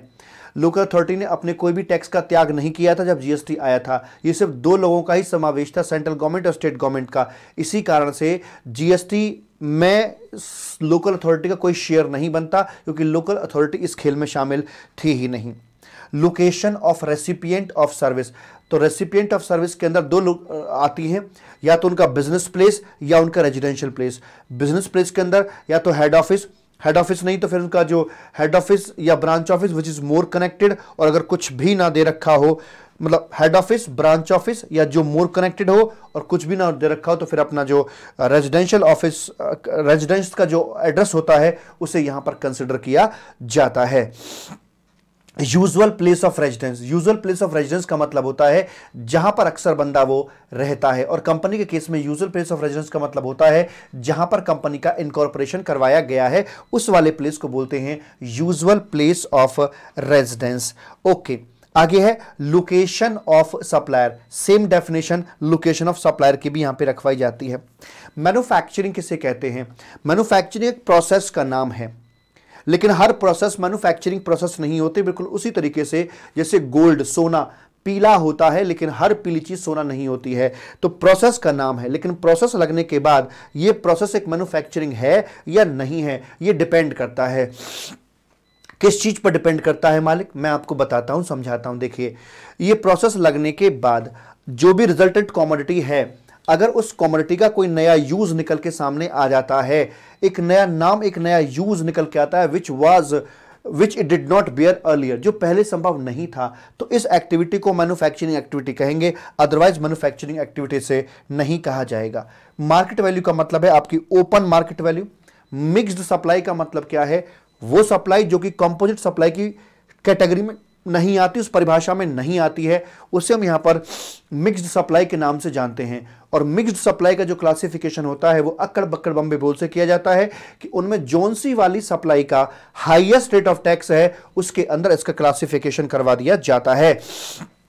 जैसे मान लीजिए, यहाँ पर ये आइटम हम जो कंपोजिट सप्लाई होती है नेचुरल बंडलिंग होती है उसका ट्रीटमेंट इनर सर्कल के मुताबिक देते हैं कि भैया देख लो कौन सा वाला मुख्य सप्लाई है। लेकिन सारे के सारे अपने आप में मुख्य हो तो आपकी कंपोजिट सप्लाई नहीं होती, फिर आपकी मिक्स्ड सप्लाई आती है और मिक्स सप्लाई के अंदर आउटर सर्कल में आकर देखते हैं, भैया ये देख लो किसका रेट कितना है, जिसका हाईएस्ट रेट ऑफ़ टैक्स होगा, उसमें इसको क्लासिफाई करवा दिया जाएगा। मनी क्या है? मनी ना गुड्स है, ना सर्विस है मनी कुछ भी नहीं है और वैसे मनी सब कुछ भी है। उसके बिना कुछ होता भी नहीं है। ठीक है जी। तो मनी या ना गुड्स है ना सर्विस है। लेकिन activities in relation to money जो होती हैं, वो आपकी सर्विस के अंदर यहाँ पर कवर हो जाती है। इसलिए मनी क्या है? ये मीनिंग जानना हमें ज़रूरी है। मोर ओवर जो कंसिडरेशन होता है, वो भी आपका मॉनिटरी फॉर्म या नॉन मॉनिटरी किसी फॉर्म में हो सकता है। इसलिए मनी का जानना ज़रूरी है कि मनी कहते कैसे हैं। तो सीधी सपाट बात यह है कि कोई भी वो चीज़ जिसकी फेस वैल्यू और मार्केट वैल्यू बराबर हो, जिसकी फेस वैल्यू और मार्केट वैल्यू बराबर होती है, उस हर एक चीज़ को हम मनी का रूप देकर चलेंगे। Cheque demand draft face value market value बराबर है। चेक है निन्यानवे हज़ार नौ सौ निन्यानवे रुपए का, उसकी मार्केट वैल्यू उतनी ही है, निन्यानवे हज़ार नौ सौ निन्यानवे रुपए। शेयर्स, फेस वैल्यू अलग है, मार्केट वैल्यू अलग है, ये आपका नहीं हो सकता। जो करेंसी है, चाहे डॉलर हो, चाहे इंडियन रुपीज़ हो, चाहे दो हज़ार रुपए का नोट हो, फेस वैल्यू, मार्केट वैल्यू बराबर होती है, वो आपकी यहाँ पर मनी कही जाती है। आउटडेटेड करेंसी पाँच सौ हज़ार रुपए के नोट जो बंद हो गए, उसकी जो फेस वैल्यू वो पाँच सौ हज़ार रुपए है, लेकिन मार्केट वैल्यू बारह रुपए किलो है, इसलिए यहाँ पर इसे मनी नहीं कहा जा सकता है। ठीक है जी। आगे बात करते हैं मोटर व्हीकल का मतलब मोटर व्हीकल से, और जनरली इसका जो ज़िक्र आएगा, वो आपका आईटीसी चैप्टर में आता है, क्योंकि वहाँ पर जनरली मोटर व्हीकल का आईटीसी अलाउ नहीं किया जाता है। नॉन रेजिडेंट टैक्सेबल पर्सन इसकी चर्चा हमारी ऑलरेडी हो चुकी है कैजुअल टैक्सेबल पर्सन के साथ में। आगे बोलता है मालिक यहाँ पर आकर के भाई, ये बताइए टैक्सेबल सप्लाई ऑफ़ गुड्स और सर्विसेज़ और नॉन टैक्सेबल में अंतर बताइए। हम कहते हैं, भाई साहब, ये देखो, नाम से ही पता लग रहा है टैक्सेबल सप्लाई ऑफ़ गुड्स या सर्विस कोई भी चीज़ यहाँ पर होने के लिए क्या होना ज़रूरी है उसका? उसका देखिए, यहाँ पर भाई साहब गुड्स या सर्विस होना ज़रूरी है, इनमें से कोई एक हो सप्लाई हो और टैक्सेबल हो। अगर ये तीनों की तीनों बातें पूरी होती हैं तो ही हम उसे टैक्सेबल सप्लाई ऑफ़ गुड्स बोलकर चलेंगे। तो यहाँ पर सेल ऑफ़ मनी और सिक्योरिटी की बात करी गई। तो ये आपकी गुड्स से सर्विस में ही कुछ भी नहीं होती है, इसलिए आपकी टैक्सेबल सप्लाई ऑफ़ सर्विस नहीं बनेगी। इस प्रकार से और भी एग्जांपल दे रखे हैं। इसी तरीके से आपकी non taxable supply of service की अगर बात करके चलें तो भाई साहब गुड्स या सर्विस ये होना चाहिए, उसके बाद सप्लाई भी होनी चाहिए और उस पर जीएसटी आपका लेवी ना होता हो। अगर तीनों शर्तें पूरी होंगी तो उस पर ठप्पा लगा देंगे। यह है आपकी non taxable supply of service का उस पर ठप्पा जड़ दिया जाएगा। इज़ इट ओके अच्छा। दूसरी बात एग्रीगेट टर्नओवर की जब बात करते हैं तो वहाँ पर आपकी चाहे टैक्सेबल सप्लाई हो, चाहे नॉन टैक्सेबल हो, सारी की सारी ऐड की जाती हैं। तो इनमें से अगर आपकी कोई जैसे, मान लीजिए पहली वाली घटना ना टैक्सेबल सप्लाई है, ना नॉन टैक्सेबल है, कुछ है ही नहीं तो ये एग्रीगेट टर्नओवर में आ ही नहीं सकती है। दूसरी वाली घटना, ये आपकी टैक्सेबल तो नहीं है, लेकिन नॉन टैक्सेबल है। कोई बात नहीं। टैक्सेबल या नॉन टैक्सेबल हो एग्रीगेट टर्नओवर का हिस्सा दोनों के दोनों बना दी जाती हैं। उसके बाद में ये आपकी टैक्सेबल भी नहीं है नॉन टैक्सेबल भी नहीं है एग्रीगेट टर्नओवर का हिस्सा ये नहीं बनेंगे। टैक्सेबल सप्लाई ऑफ़ गुड्स या सर्विस नाम से पता लगता है। गुड्स या सर्विस में से एक होना चाहिए सप्लाई भी होनी चाहिए, और वो टैक्सेबल भी होना चाहिए। जीएसटी भी उस पर लग रहा हो। तब उसकी हम यहाँ पर बात करके चलते हैं। प्रेम से बोलेंगे राधे राधे आगे आता है नॉन टैक्सेबल टेरिटरी टेरिटरी का मतलब होता है एरिया नॉन टैक्सेबल मतलब जहाँ पर जीएसटी का स्कोप ना आता हो। तो भाई एक्ट के हिसाब से डिसाइड किया जाता है। जैसे आईजीएसटी एक्ट है, इसका स्कोप कितना है? ऑल ओवर इंडिया है सेंट्रल लेवल का है। तो इंडिया तो हो गया इसके लिए पूरा का पूरा टैक्सेबल टेरिटरी और इंडिया के अलावा जितना भी ब्रह्मांड है, सब इसके लिए नॉन टैक्सेबल टेरिटरी यहाँ पर कहा जाएगा। ऐसे ही दिल्ली जीएसटी की बात करके चले तो दिल्ली का जो एरिया है, वो तो बन जाएगा टैक्सेबल टेरिटरी और इसके अलावा जितना भी ब्रह्मांड रेस्ट ऑफ़ द ब्रह्मांड, वो इसके लिए नॉन टैक्सेबल टेरिटरी बन जाएगा। तो अगर कोई एक्ट जितने जितने एरिया में लागू हो रहा है, उस, वो एरिया उसके लिए टैक्सेबल टेरिटरी है और उसके बियॉन्ड जो भी एरिया है, वो आपका नॉन टैक्सेबल टेरिटरी के अंदर काउंट किया जाता है। उसके बाद बात करते हैं स्टेट और यूनियन टेरिटरी की, यहाँ पर बात करके चलते हैं मालिक।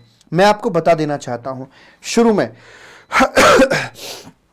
जब तक जम्मू कश्मीर का लफड़ा नहीं पड़ा था तो आपकी ये उनतीस तो हुआ करते थे प्योर स्टेट हुआ करते थे मालिक, तेलंगाना को मिलाते हुए। ठीक है? और जो यूनियन टेरिटरी बचपन से पढ़ते आए हैं, सात थी। सात को हमने यहाँ क्लासीफाई कर दिया कि भाई सात ऐसे से करके थी। कैसे कैसे करके थी सात? उसको बताया कि देखो, पाँच तो इसमें से वो थी आपकी, जो प्योर यूटी थी। और दो ऐसी थी जो दिल्ली और तेलंगाना, जिनका अपना सीएम है, कुछ पावर सेंट्रल गवर्नमेंट के पास में है और कुछ पावर स्टेट के पास में जैसे दिल्ली पुलिस है, दिल्ली पुलिस की पावर सेंट्रल गवर्नमेंट के हाथों में है, लेकिन मेडिकल वगैरह ये सारा का सारा स्टेट गवर्नमेंट के हाथों में है। इनका अपना सीएम होता है, अपनी असेंबली होती है।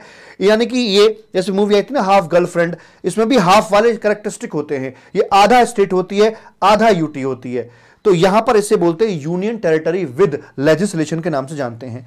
दिल्ली और पांडिचेरी आपकी यहाँ पर आया करती थी। उसके बाद आप जानते हैं आर्टिकल नंबर 370 संविधान से हट गया। उसके चलते हुए जम्मू कश्मीर जो कि स्टेट हुआ करता था, उसके दो फाड़ किए गए। क्या क्या भला? तो उसमें एक रहा जम्मू कश्मीर उससे बनाया गया यूनियन टेरिटरी विद लेजिस्लेचर और एक निकाल दिया गया लद्दाख अलग, लद्दाख बनाया गया प्योर यूनियन टेरिटरी। तो इस चेंज का अंतर यह निकल के आया कि जो जम्मू कश्मीर है आपका, जो स्टेट था, स्टेट की संख्या नेचुरल स्टेट की संख्या अब 28 रह जाती है और जो यूनियन टेरिटरी विद लेजिस्लेचर थी, उनकी संख्या तीन हो जाती है और यहाँ पर आकर जो आपका लद्दाख था, वो आपकी प्योर यूनियन टेरिटरी यहाँ पर एक बढ़ जाती है, प्योर यूटीज के अंदर बढ़ जाती है। उसके चलते एक चीज़ और, दमन और द्यू दमन और दीव की जो यूटी थी, वो आपकी मर्ज हो चुकी है नगर हवेली के अंदर। नगर हवेली के अंदर ही दमन और दीव मर्ज हो चुकी है। इसके चलते हुए आपका एक यूटी, जो प्योर यूटी थी, वो कम हो गई। लद्दाख बढ़ गई, दमन दीव के नाम से कम हो गई, क्योंकि वो नगर हवेली में ही अपनी मर्ज हो चुकी है। तो इस प्रकार से आपकी प्योर यूटी रही आज पाँच, मिक्स यूटी रही तीन और प्योर स्टेट रही आपके ट्वेंटी एट। तीन मिक्स यूटी है, इसको डिम्ड स्टेट कहा जाता है। तो फाइनली आपके हाथ में 31 स्टेट हैं आज की डेट में और पाँच आपकी यूनियन टेरिटरी हैं प्योर वाली।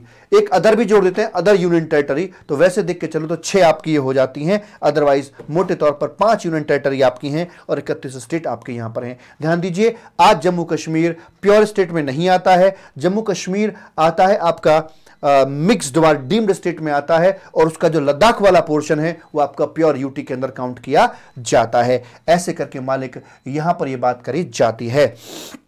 ठीक है सर जी, और कौन दिक्कत वाली बात नहीं है। उसके बाद आगे क्या? उसके बाद आता है आपका आउटपुट टैक्स। आउटपुट टैक्स क्या है? भाई, जो भी आप अपनी आउटवर्ड सप्लाई कर रहे हो, आपकी आउटवर्ड सप्लाई के ऊपर जो भी आपका टैक्स बन रहा है, उसे हम लोग आउटपुट टैक्स के नाम से यहाँ पर जानकर चलते हैं। ठीक है जी? और क्या है? उसके बाद आगे निकल के आता है आउटवर्ड सप्लाई। जो सप्लाई आप दे रहे हो, आउटवर्ड और दे रहे हो, सप्लाई का मीनिंग जानते हैं, और जोन से वाली सप्लाई दे रहे हो, विद कंसिडरेशन, विदाउट कंसिडरेशन दे रहे हो जो आरबीआई की एजेंसी विदाउट कंसिडरेशन भी आपकी सप्लाई बनती है, उनको इस कैटेगरी में रख के चलते हैं। पर्सन वर्ड का मतलब पर्सन एक ब्रॉडर टर्म है। इंडिविजुअल हो कंपनी हो एलएलपी हो, कोई भी हो, सब के सब आपके पर्सन वर्ड के अंदर शामिल कर लिए जाते हैं। प्लेस ऑफ़ बिज़नेस ये क्या मामला sir ji? Place of business की जब बात करके चलोगे नहीं सॉरी प्लेस हाँ प्लेस ऑफ़ बिज़नेस मतलब बिज़नेस प्लेस हो गया। जब मैं रजिस्ट्रेशन के लिए अप्लाई करके चलता हूँ तो मुझसे पूछा जाता है कि आपका मुख्य प्लेस ऑफ़ बिज़नेस क्या है प्रिंसिपल प्लेस ऑफ़ बिज़नेस क्या है? तो मैं अपना बता देता हूँ। अगर मेरा एक ही प्लेस ऑफ़ बिज़नेस है तो वही मेरा मुख्य प्लेस ऑफ़ बिज़नेस में आ जाता है। लेकिन मेरा प्रिंसिपल प्लेस अलग है, एडिशनल प्लेस अलग है तो प्रिंसिपल में प्रिंसिपल प्लेस ऑफ़ बिज़नेस दिखाइए और एडिशनल प्लेस ऑफ़ बिज़नेस के अंदर वो दिखा दीजिए। प्लेस ऑफ़ बिज़नेस में मेरे सारे आ जाते हैं, मेरी फैक्ट्री जहाँ पर है, जहाँ पर मेरा शोरूम है, जहाँ पर मेरी आउटलेट है, जहाँ पर मेरे बुक्स ऑफ़ अकाउंट मेंटेन होते हैं, जहाँ पर मेरी बिज़नेस एक्टिविटीज़ होती हैं, वो मेरा हर एक प्लेस मेरा बिज़नेस प्लेस कंसिडर किया जाता है। प्लेस ऑफ़ सप्लाई का मतलब कंजम्पशन प्लेस हो गया, जहाँ पर गुड्स या सर्विसेज़ मेरे कंज्यूम होते हैं that place will be called as place of supply के रूप में कंसिडर किया जाता है। प्रेस्क्राइब्ड वर्ड जहाँ पर भी आपको दिखाई दे जाए, इसका मतलब होता है गो फॉर रूल्स किसकी चर्चा रूल्स में करी जानी है। प्रिंसिपल वर्ड का मतलब क्या है? एजेंट की परिभाषा हम लोगों ने पढ़ रखी थी और हम जानते थे एजेंट वो जो दूसरे के बिहाब पे काम करता है, उसे एजेंट कहते हैं। और प्रिंसिपल वो आदमी होता है जो दूसरों से काम करवाता है, जिसके बिहाब पर और लोग काम करते हैं, उस वाले व्यक्ति को प्रिंसिपल कहा जाता है। प्रिंसिपल प्लेस ऑफ़ सप्लाई यानी कि ये आपका हेड ऑफ़िस के रूप में यहाँ पर कंसिडर किया जाता है जी। प्रिंसिपल प्लेस ऑफ़ सप्लाई नहीं business principal place of business principal place of business यानी कि ये आप खुद ही बताते हो जो आपके रजिस्ट्रेशन सर्टिफिकेट के अंदर लिखा हुआ होता है। और अगर आपका एक ही प्लेस है, जैसे नॉर्मली बहुतों का होता है कि हेड ऑफ़िस ब्रांच ऑफ़िस नहीं है, आपका एक ही प्लेस है तो वही एक ही प्लेस आपका प्रिंसिपल प्लेस वाली कैटेगरी के अंदर आ जाता है। और जब रजिस्ट्रेशन सर्टिफिकेट आपका था मैं सब क्लास में दिखा रखे हैं आपको चीज़ें ये, जब आपका सर्टिफिकेट आता तो उसमें ये चीज़ आपकी लिखी हुई होती है। प्रिंसिपल सप्लाई किसे कहते हैं? जी हाँ जब कंपोजिट सप्लाई का कॉन्सेप्ट आता है तो उसमें बोलता है to or more taxable supplies आपकी होती हैं। कह रहे, बिल्कुल ठीक बात है। वो आपकी नेचुरली बंडल्ड होती है, कह रहे, एकदम ठीक बात है। और उनमें से एक सप्लाई आपकी प्रिंसिपल सप्लाई मालिक होती है। उनमें से एक सप्लाई बंडल के अंदर प्रिंसिपल सप्लाई आपकी होती है। तो वैसे वाले मामले के अंदर हम लोग क्या करके चलते हैं साहेब?